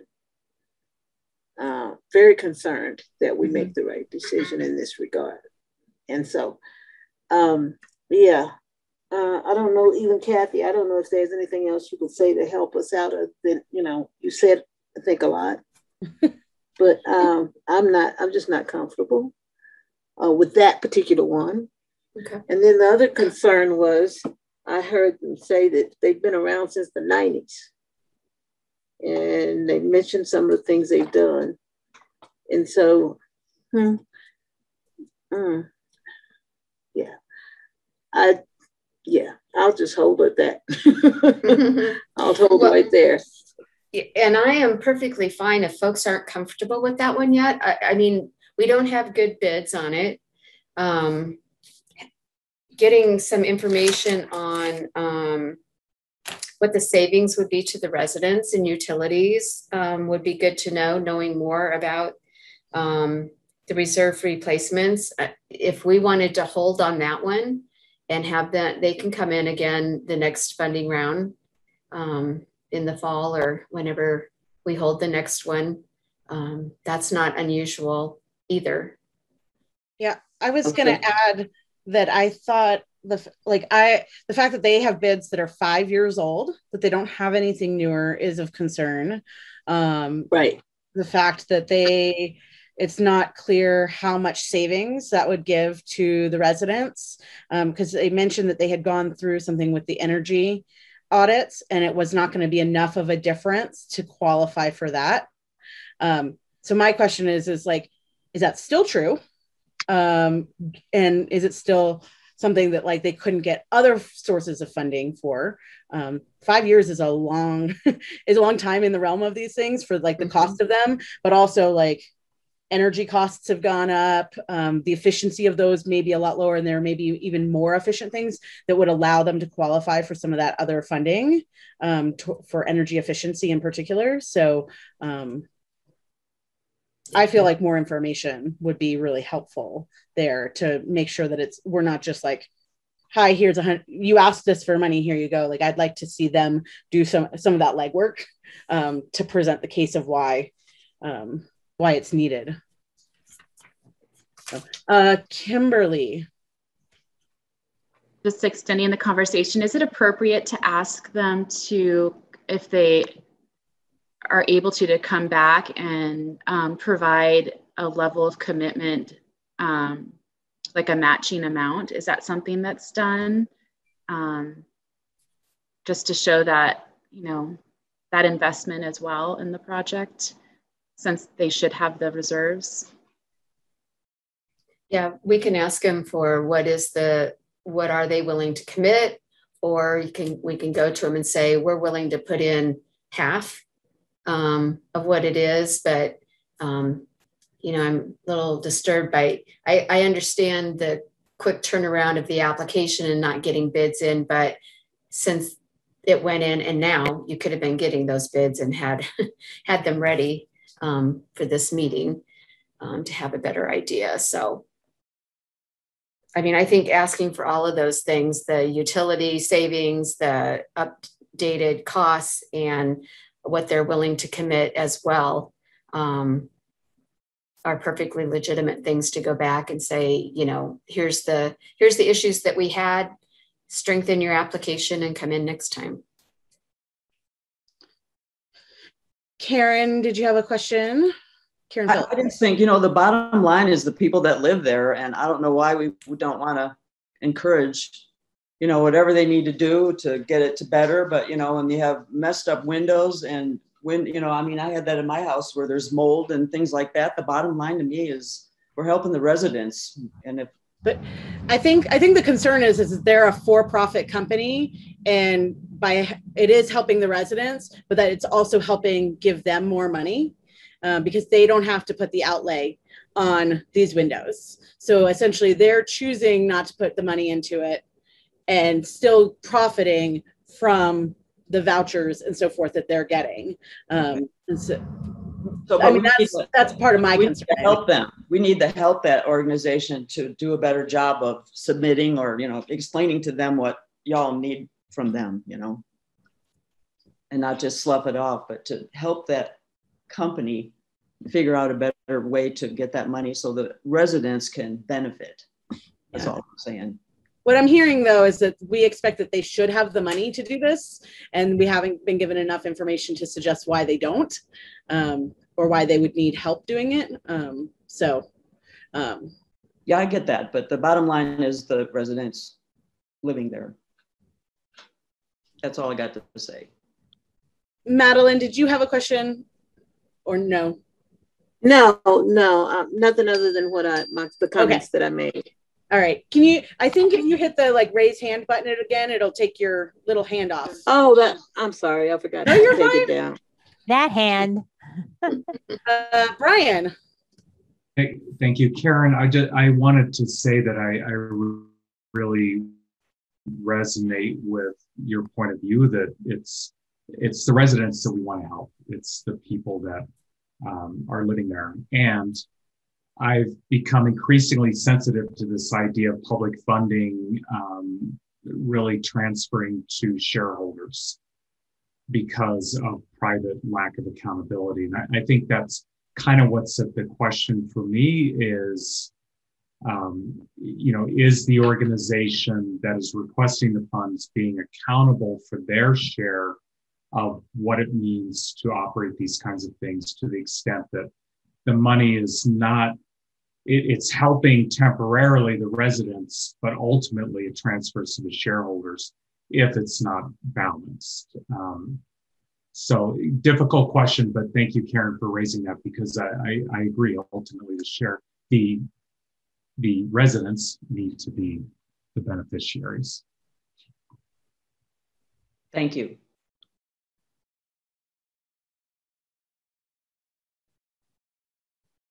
So is the will of the group to go back to Stonehenge and say, we need this additional information and come in the next round?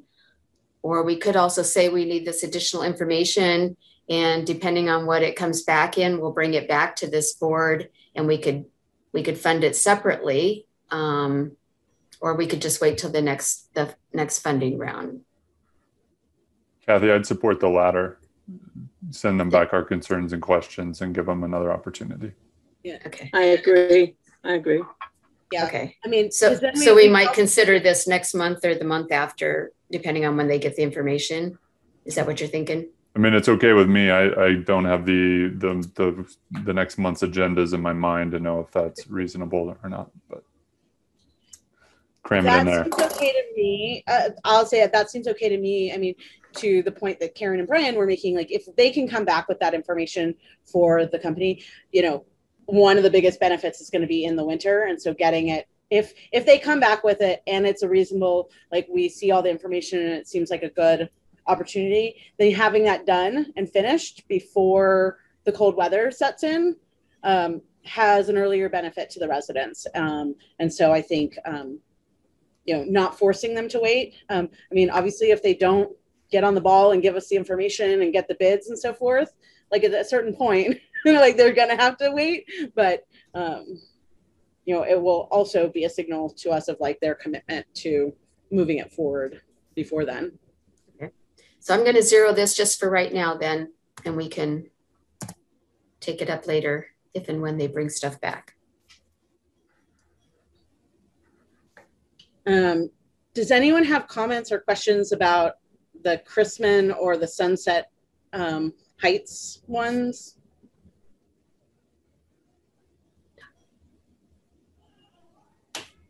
I I think what you've sort of penciled in here, Kathy, makes sense um, in terms of both of those requests. Um, the fact that both of these, um, you know, that Chrisman has this partnership with LHA already, and it, you know, the first one is doing so well. Um, I think really, you know, just bodes well for it. Um, I also really liked that they highlighted, and I think staff highlighted this as well, of them having three bedrooms that are so needed. Um, that that is really not something. Um, and I that barbell of like income of like trying to hit those areas that are not well done um, seemed really useful and it's a it's quite a few units um, all at once so um, yeah. What you have makes sense to me. I'm curious if other folks have thoughts or concerns about what's pen- sort of penciled in here. Let's do it. brian?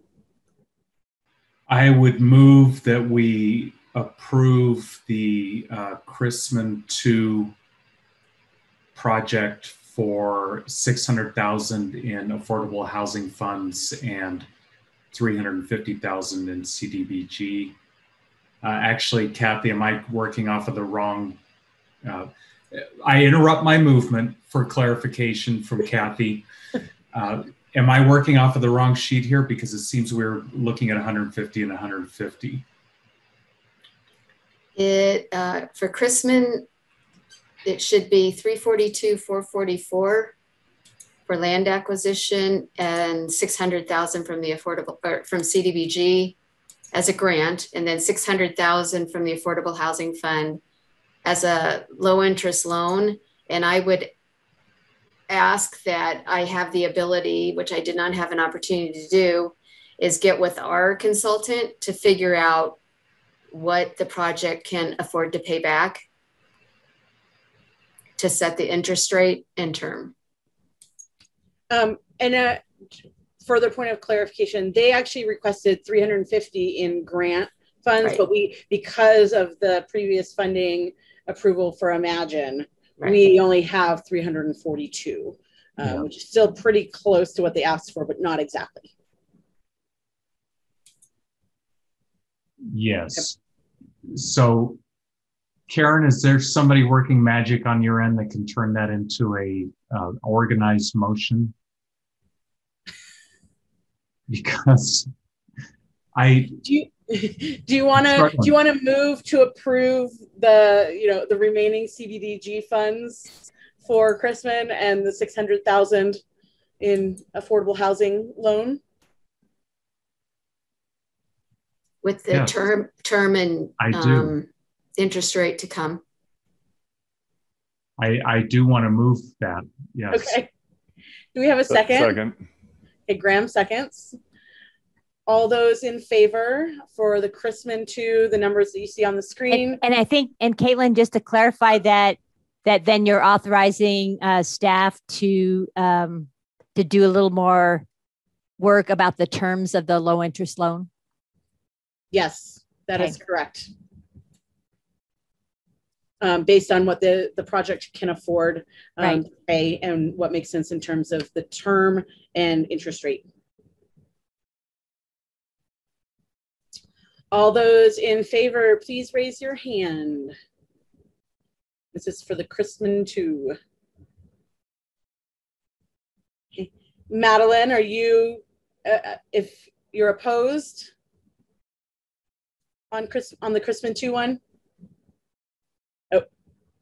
No, you're in favor? Okay, so we've got everyone in favor.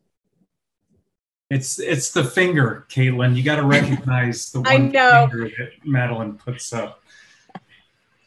Okay, um, that leaves us with the Sunset Heights pre-development and the request for the loan. Um, they asked for either grant funding or a low interest loan there. So since our grant funding is depleted, then um, we have we would look to do a low interest loan for them. And Molly, do you remember the terms that the initial one's under? I think it's zero percent interest and repaid in by March of twenty twenty-two? April of 2022. April of twenty twenty-two. So I would suggest the same terms. Which is like a two year was that like two or three year term basically zero percent Yeah, it would be about Uh, a two-year term from the time we actually signed the contract. So Molly, I'm sorry for the notes. Did you say a two-year term? Yes. Thank you. And I'm also hoping you're taking notes, Yes. Molly, like you usually do. Yes. I'm And it is- counting on it.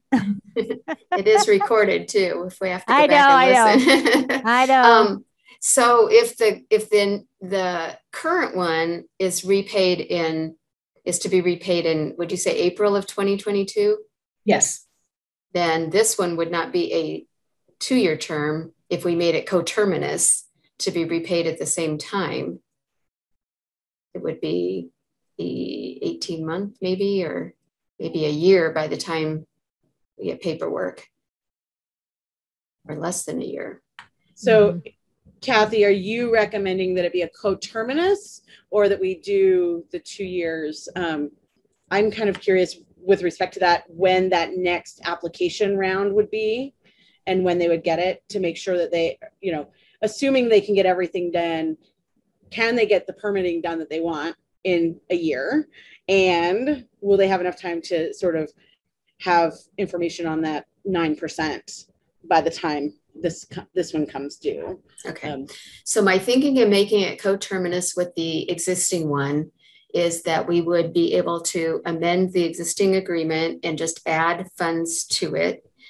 And they are not likely to hear on, uh, in February 22 2022 until May or June of 2022. So they're going to have to come in and ask for an extension anyway, and that way we can extend both at the same time instead of having two different agreements with two different terms. That was my thinking of why we would make it coterminous.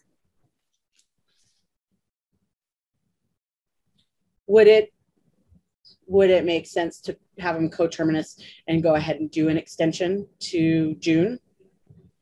I wouldn't do it at this point in time. If they, if they, I, I wouldn't do it at this point in time. I'd wait. Yeah.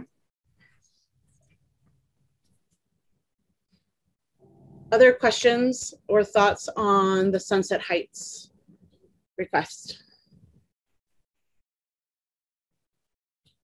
Okay, do we have a motion to um, approve the 150,000 in affordable housing um, with direction to staff to look to have that coterminous with their existing um, loan and the same terms, um, which was 0%? Does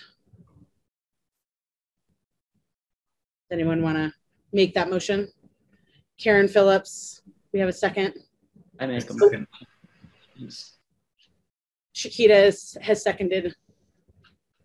Okay, all those in favor, please raise your hand.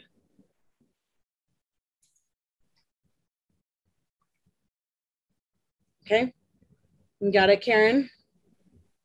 Okay, and that has passed. Thanks, everyone. And Oh, and so, Caitlin, did you get a, an official motion in regard to the uh, Stonehenge? No, we did not. project. So Do we- y'all, there was a there was the makings of a motion, but it wasn't a real motion. I don't think.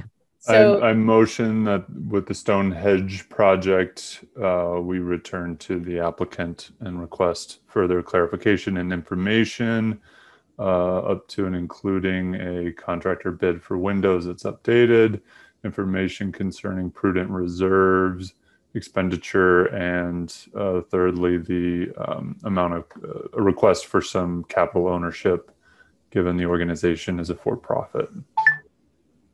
I agree. I, I second. Match. Okay. All those in favor? Okay. So approved. So, Caitlin, Yes. Karen again. So I'm having internet instability. Um, so who seconded the motion? Uh, that would be Madeline. Thank you. Sorry. No problem. No problem. That dang NextLight. No, it's that dang husband. He touched the router.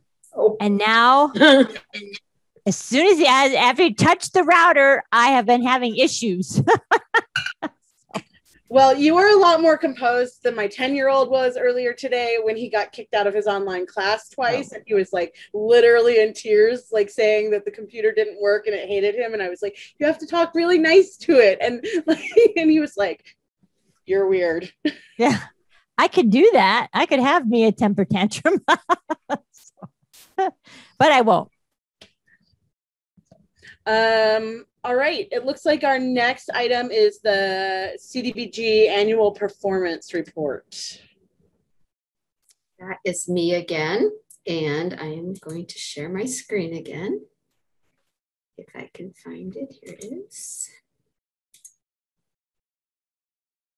All right, so this is really little. Um, hopefully you could see it when you on your own screen. Um, but this just kind of goes through and shows um, what was um, projects were approved for 2020 and or carried over from prior years, um, what the budget was going into 2020, what the um, expenditures were in 2020, and what we're carrying forward into 2021. And then this also shows um, for each type of project um, the beneficiaries that were um, supported um, with the project or assisted with the project.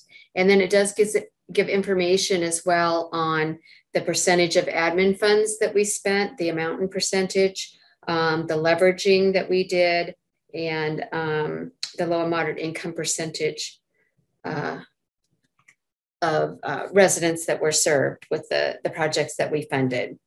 Um, so we uh, we met our timeliness um, requirement uh, that HUD sets, um, which was good, but we didn't do overall a very good, great job of um, how much we we spent in 2020.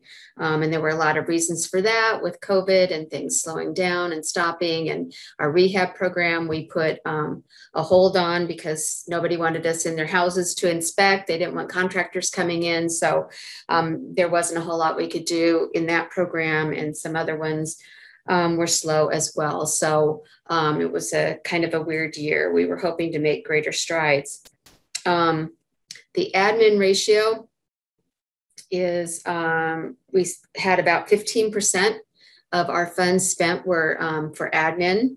Um, so that means about 85% was for projects. And then we had a, over a 98% um, expenditure rate for low and moderate income um, residents that were served. All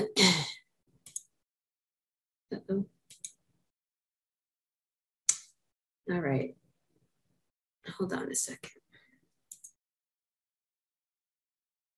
Sorry.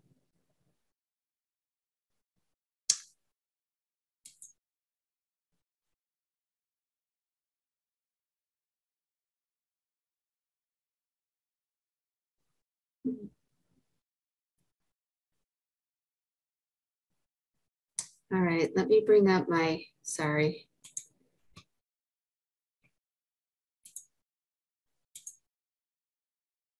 Let me open this file again. It's not.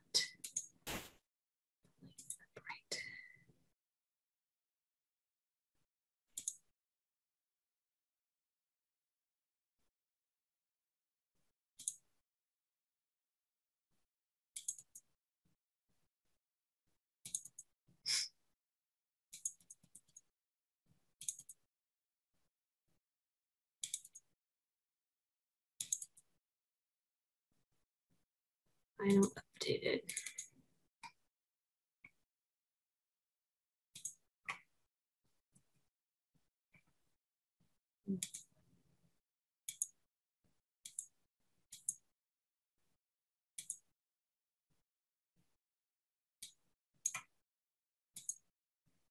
Why is that one? Sorry. So, so while Kathy's uh, looking for her doc, so um, Caitlin, I thought I would check in. I know, um, you know, it's it's nearing nine o'clock. We had the site visit updates. I know Deanna isn't able to be here, so I don't know whether if Shakita wanted to make her um, report or whether we wanted to wait until the next meeting. So I just was planning that, asking that question actually. Shakita, are you um, in a position to go forward with any of the reports, or would you like to um, go hold off until next next month? What's your preference?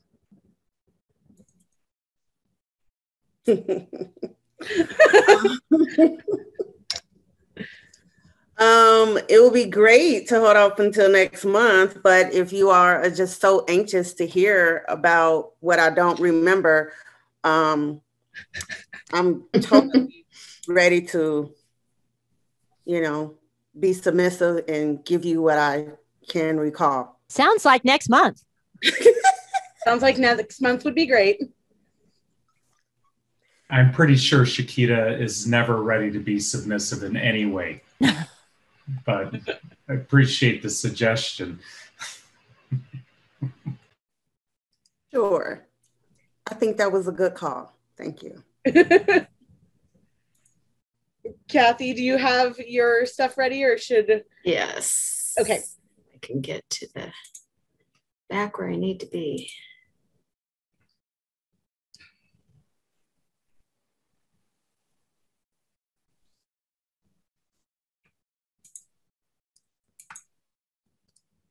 Okay, I think it's this one. It's hard to tell where you're. There we go. All right. All right, so this one again in um, total shows the CDBG funds um, unexpended that came into um, the program year from 2019, which is at about 1.1 million. And then we got 610,000 in uh, 2020 CDBG funds. We got about 105,000 in program income this year, and we repurposed about 99,000. Um, so our total budget was 1.7 um, in 2020 um, that we had available. We had 1.1 um, million in expenditures, which carries us into um, with 730,000 going into uh, 2021 um, of unspent funds. As uh, CDBG funds spent uh, or budgeted is a total uh, percentage of the total budget, 80 9% has been budgeted for housing, about 6% for planning and administration, and then we had about 5% in unallocated funds in 2019. Um, and then this just shows, um, again, the funds that were not allocated in 2020. Um, the blue is what was budgeted, the red what was is what was spent. So housing, um, you can see the difference there. And then planning um, and administration, we pretty much spent what we said we were going to, or thought we were going to. Um, this one shows the um, projects on a project basis. Um, what was, get over here, uh oh, so you can see the, um, what was budgeted, what was spent, and then what was carried forward. So in um, in the general rehab program, we had this much budgeted. We spent this much again because of COVID and the, the shutdown.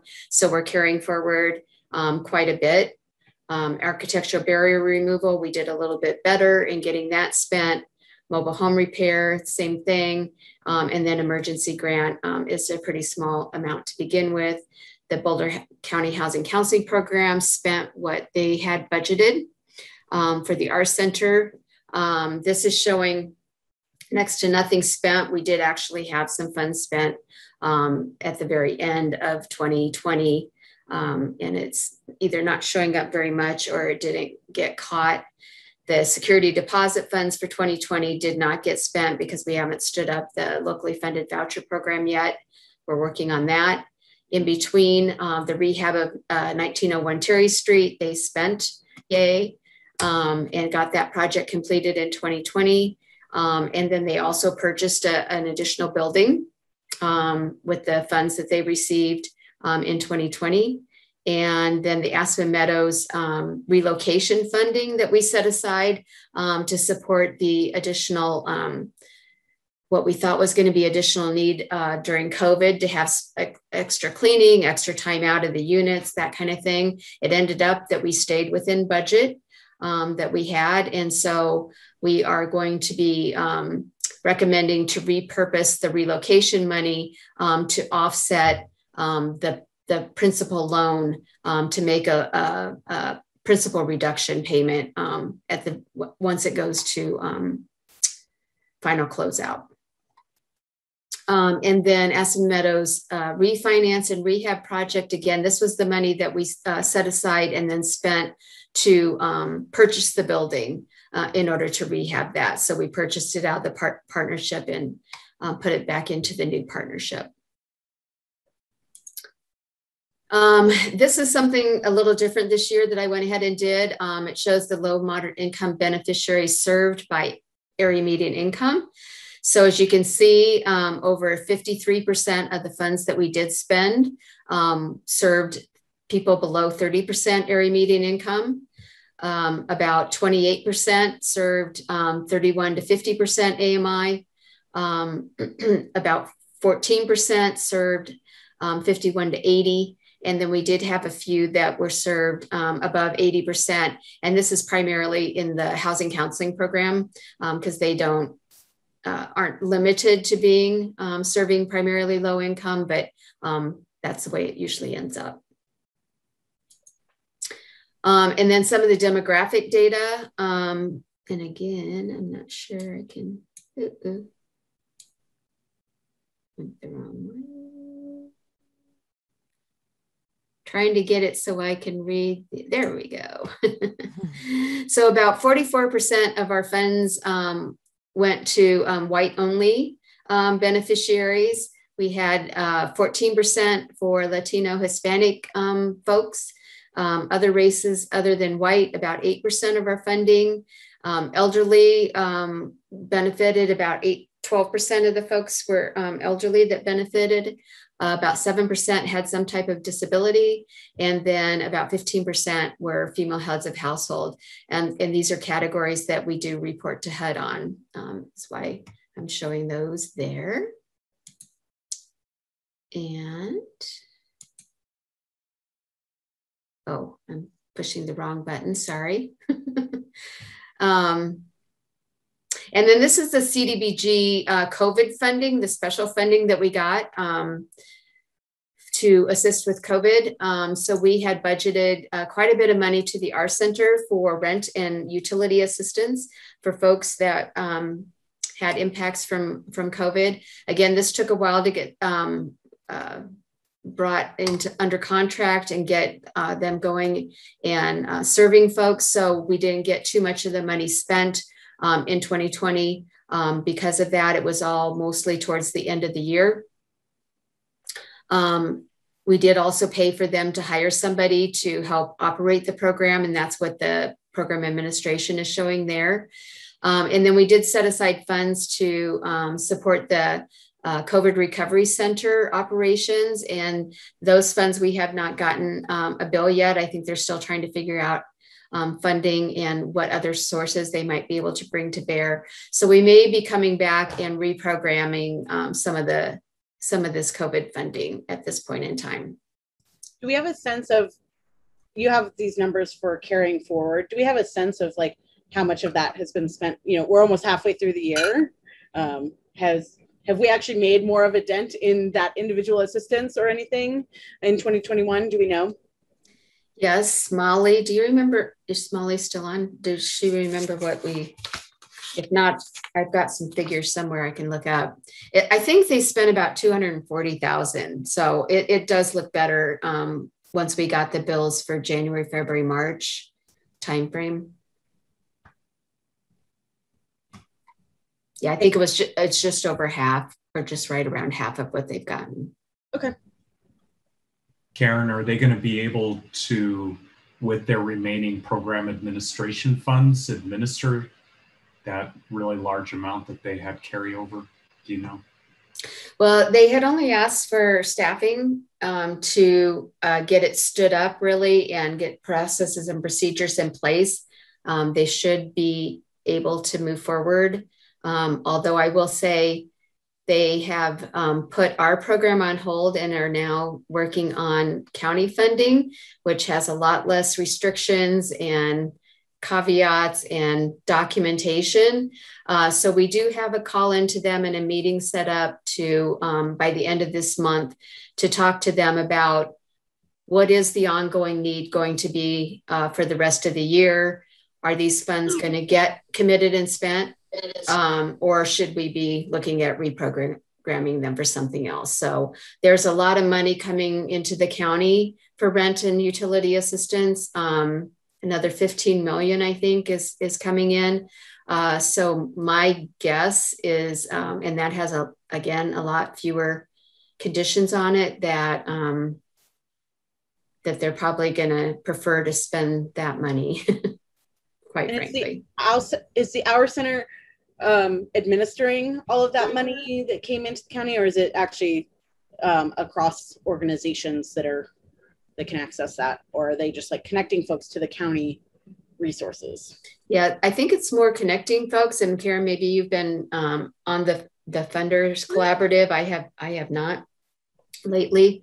Um, but the county, I think, was not going to grant it down to the family resource centers, but it was going to run through the housing helpline. I, I think Alberto can answer that. Okay. Yeah, so the county received, I think in, in total is going to be about 17 million for housing um, for rental support. Um, and there, and right now it, there it is going through the housing helpline. It is not going through the the family resource centers, the OUR Center, EFA, and Sister Carmen. Uh, they're referring. Uh, that being said, there are still um, uh, clients that do access uh, the OUR Center's help because they might need it faster than what the county can do, or because some folks, um, due to documentations, uh, may be wary of accessing government support. So that that's kind of where it, it is right now.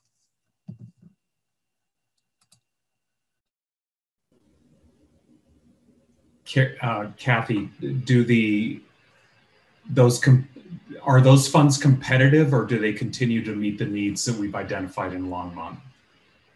The county funds. Um, I'm not sure what you mean by competitive.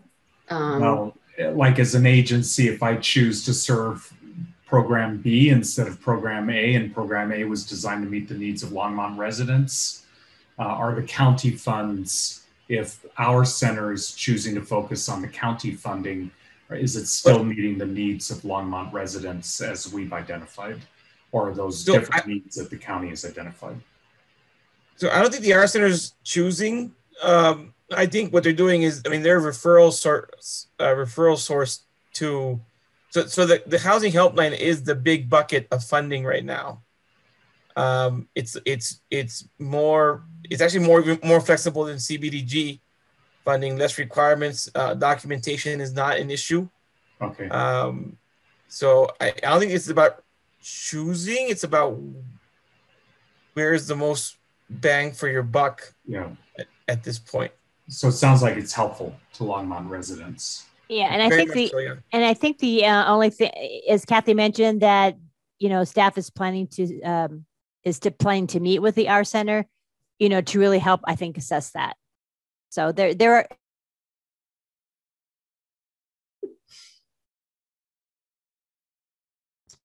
I think uh, Karen. She, she went oh. unstable oh. again. Oh, sorry. that router, my husband. so, um, so anyhow, so I'm sure that we will be having a better handle on that after that meeting with the OUR Center. I have a question. Caitlin. Go ahead, Madeline. Um, Kathy, when you were going through the demographics, um, uh, you um, there was one category that I um trying to remember. I think it was classified as other. Uh, I'm look. I'm trying to see what. I'm looking at your chart, trying to see it. Uh. That's right, Madeline. I guess my other okay, races. I guess- than white. I'm sorry. What'd you say, Brian? I didn't mean to interrupt. It's other races than white was the category. Okay. Uh, I I am curious to know where do the African Americans fit in this in the scheme of this this information? They would fall into that one, the other races than white. Are, there, are we not able to capture that and break it out to the most finite detail? Um, I am finding it because it was fairly small numbers. I thought it was a better way to group, but we do have on this chart. It should break it out by. Okay. Nope, it that must be what HUD calls it. Uh, we can get that information because we it, that is not the category that people uh, check on on their applications and stuff. Um, so we can we can get that and break that out. Uh, I'd li- I'd like to know because if it's not if it's the number is so low, then that raises a question to me as to why. Why it certainly isn't that there isn't a need, uh, but if the information, you know, if the information is not disseminated, then we need to do some other things differently, perhaps. Absolutely. But just based on what I, yeah, just based on what I know personally, Uh, oh, Madeline went unstable too. Uh, I'm I'm, I'm kind of surprised. Thank you. Shakita. I just want to uh, follow up with Madeline, and I think it's important to. I know where she's coming from. I get what she's saying. Um, even though we have a small population of African Americans, but we also have Asians, we have Native Americans that live in Longmont, and I think it would be. I mean, when we look at that, and we- I'm under other, it's like mixed races now are still in that other box. That shows that we're invisible. And so these programs are out here for everyone. Am I right? Mm-hmm. And so back to what Karen Phillips used to say, how are how is the community getting this information knowing that this assistance is out here for everyone? So I know people who are in need and if they don't know that hey you can apply for this you can apply for that or this or you know business know that that could be african american that could be asian whatever right? So maybe we have to do more of an outreach to that demographic. Because we here because you you looking at me and madeline. So we are here you know? So that's very important. She brought she's bringing up a really good point i don't want to be in the other box because i'm here that's just like saying you don't see color. So it's important that we do we do uh, make sure that we know that and we all know that we're here.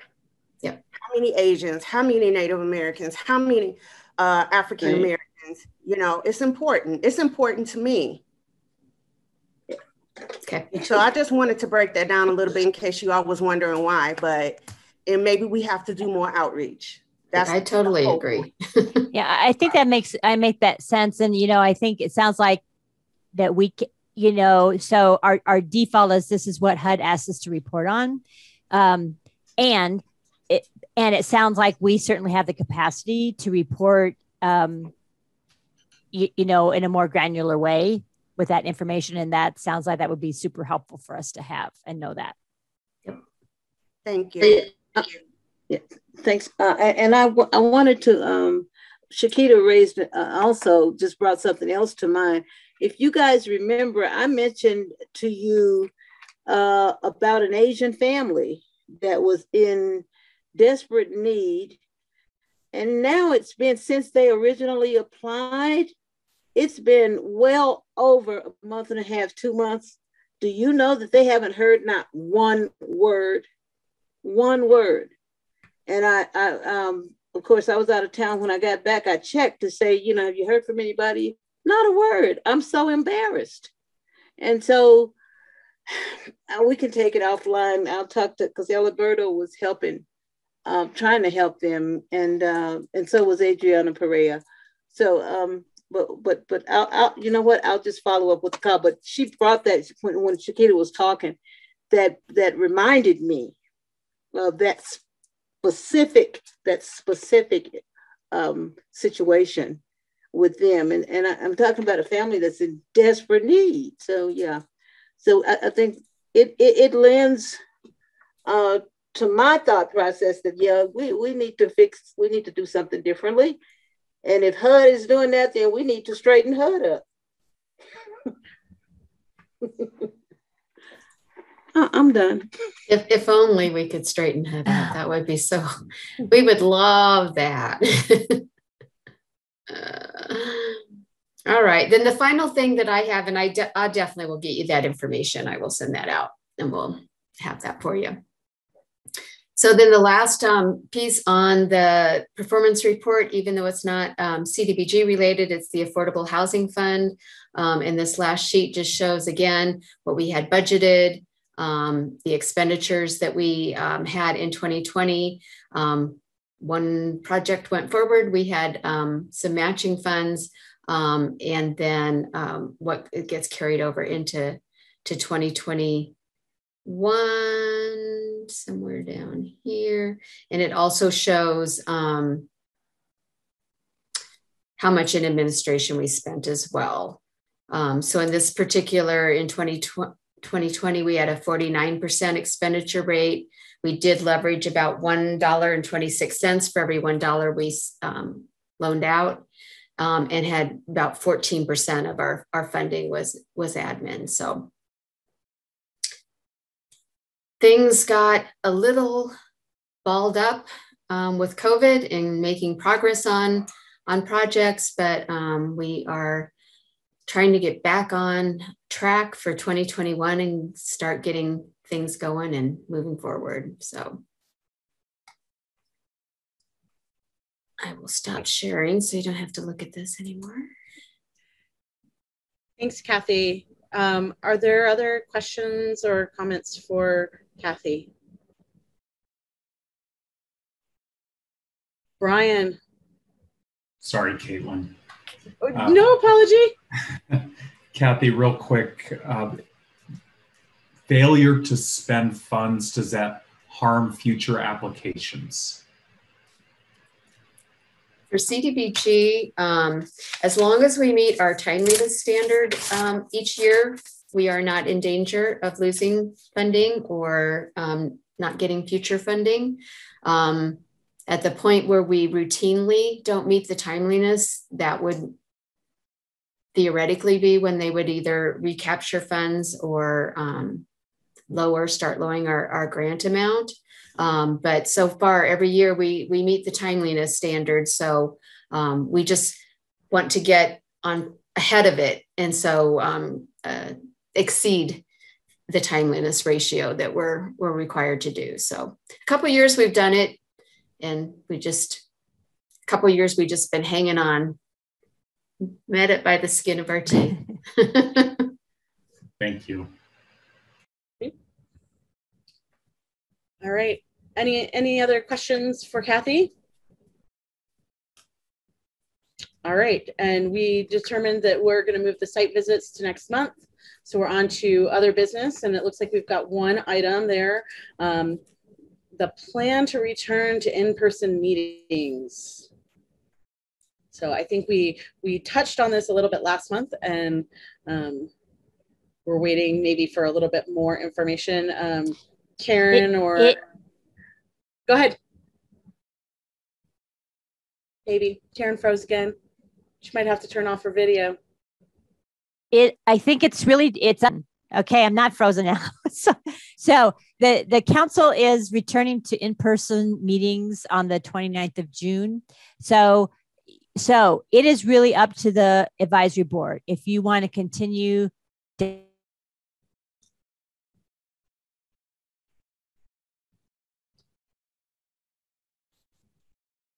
down a virtual path sorry. So so i think it's really up to the board caitlin if you if you want and Alberto, maybe you take this so so but it's up to you whether you want to start meeting in person or not and when Okay. Um, do fo- does anyone have strong feelings one way or another? Anyone want to chime in? I, I, I'm, I'm, I'm, I need to remain virtual uh, for health reasons. Um, yeah, I have some help situations coming up at, very soon. And so, yeah, my participation would have to remain uh, virtual. All right. I support I, I, yeah, I'd say at least through, uh, not not indefinitely, but from what I know about what I'm about to face, it would be at least through through August, I'd say. So, just based on what I know. Okay. Thanks for sharing that, Madeline. And Brian, it sounded like you were saying you'd support either option. Okay. Is hybrid an option, Alberto? That's that's what I was gonna say. I mean, if we could find a proper conference room, and I'm thinking about Karen, the the one at the city manager's office, if it's available. So what I what I know is that maybe we can do a little more research. I know that the um, that the the city staff is trying to retrofit some of the equipment so that there would be the opportunity to have hybrid meetings. So why don't you let us um let's do some work and then we'll follow back up with you and and and give you an update on if that is possible and uh and that we could and if you wanted to pursue hybrid in July, you know, we could. So we'll get back to you about that. So, um, based on Madeline's comment and then the fact that the mask stuff is expiring today, my feeling is that, um, I mean, my sense is that virtual has generally been working well. Um, we've sort of got a process here. I would suggest that we plan to stay virtual for July um, so we can see whether things change as more people are going out without masks and all of that. Um, and then give staff some time to do some research and come back to us in July with that. Um, I sort of have this like nervous that we are removing this mask stuff, but we are not like Boulder County is very well vaccinated, but I'm a little I'm a little nervous with all the kids um, starting to go to summer camps and interacting with other people of like how much we're gonna see. Um, so um, that would be my thinking was would be to just plan to be virtual for July, get some more information, and then um, revisit this then. We, we can do that. So that works for me. Okay. Looks like folks are in agreement there. Karen, Kimberly, Graham's that sound workable for all of you? Okay. Then let's do that.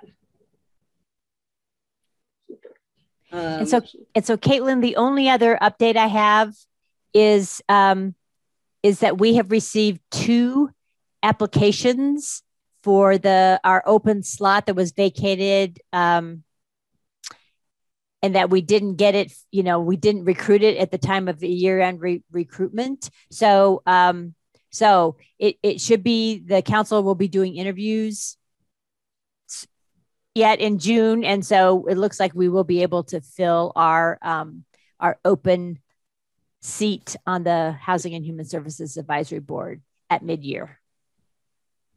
Great. FYI. Yep. Thank you. That's it. Okay. Any other business that folks have? I have one announcement. Okay. Go ahead, Uh, am, I, am I on mute? Nope, Okay. you're fine. We can hear you. Um, okay. Um, June 19th, next Saturday, we will be celebrating Juneteenth in Boulder County. Uh, it's the Executive Committee for African American Cultural Events in conjunction with the Boulder County NAACP and many other sponsors.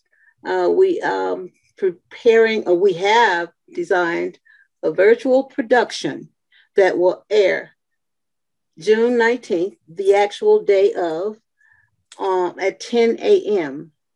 And I will send information. Uh, Karen, should I send that to you if you haven't already received it? You can send it to me. Okay. Uh, uh, uh, uh, uh, an, an added uh, great event. Well, you know that our, our special guest, our featured guest, is the 94 year old Miss Opal Lee, who's known as the grandmother of Juneteenth. She's our featured guest, and many, many other exciting things. But we have recently added another feature. We're going to have a flag raising ceremony at uh, the at the Civic Center, 350 Kimbark. That's going to be Monday at 11 a.m. Mayor Bagley, along with the Juneteenth Planning Committee and City Council members, and just a whole host. This invitation has gone out all over, and we hope to just have a great crowd out there. That we will do the flag raising service. It will be filmed to be included in the production. So I'm all excited about that. Uh, another initiative that's un, uh, underway is we're trying to get all of the cities within Boulder County to raise flags and fly those flags on June 19th at 10 a.m. And uh, the SURJ, Show Up for Racial Justice, that organization is um, spearheading that effort. So we're looking forward to a great event. I know a lot of people still don't know about Juneteenth, still don't know what it is, and that's okay. Because if you watch June 19th, Saturday at 10 a.m., you will learn. And that's what we are about with ECASE, the um, Executive Committee for African American Cultural Events, NAACP, and all of the other uh, organizations. We got so many people sponsoring us. Even High, High Plains Bank came on board yesterday. And so uh, I'm, I'm really encouraged by just the support and the interest. So you're invited. I hope to see you Monday at uh, 11 at the Civic Center. Thank you for allowing me to share that. Thank you, Madeline. Anyone else? If not, we will entertain a motion to adjourn. Nobody wants to, to leave? I move we adjourn. Okay. Second. Second. Off we go. Thank you all. Thank you. Bye, guys.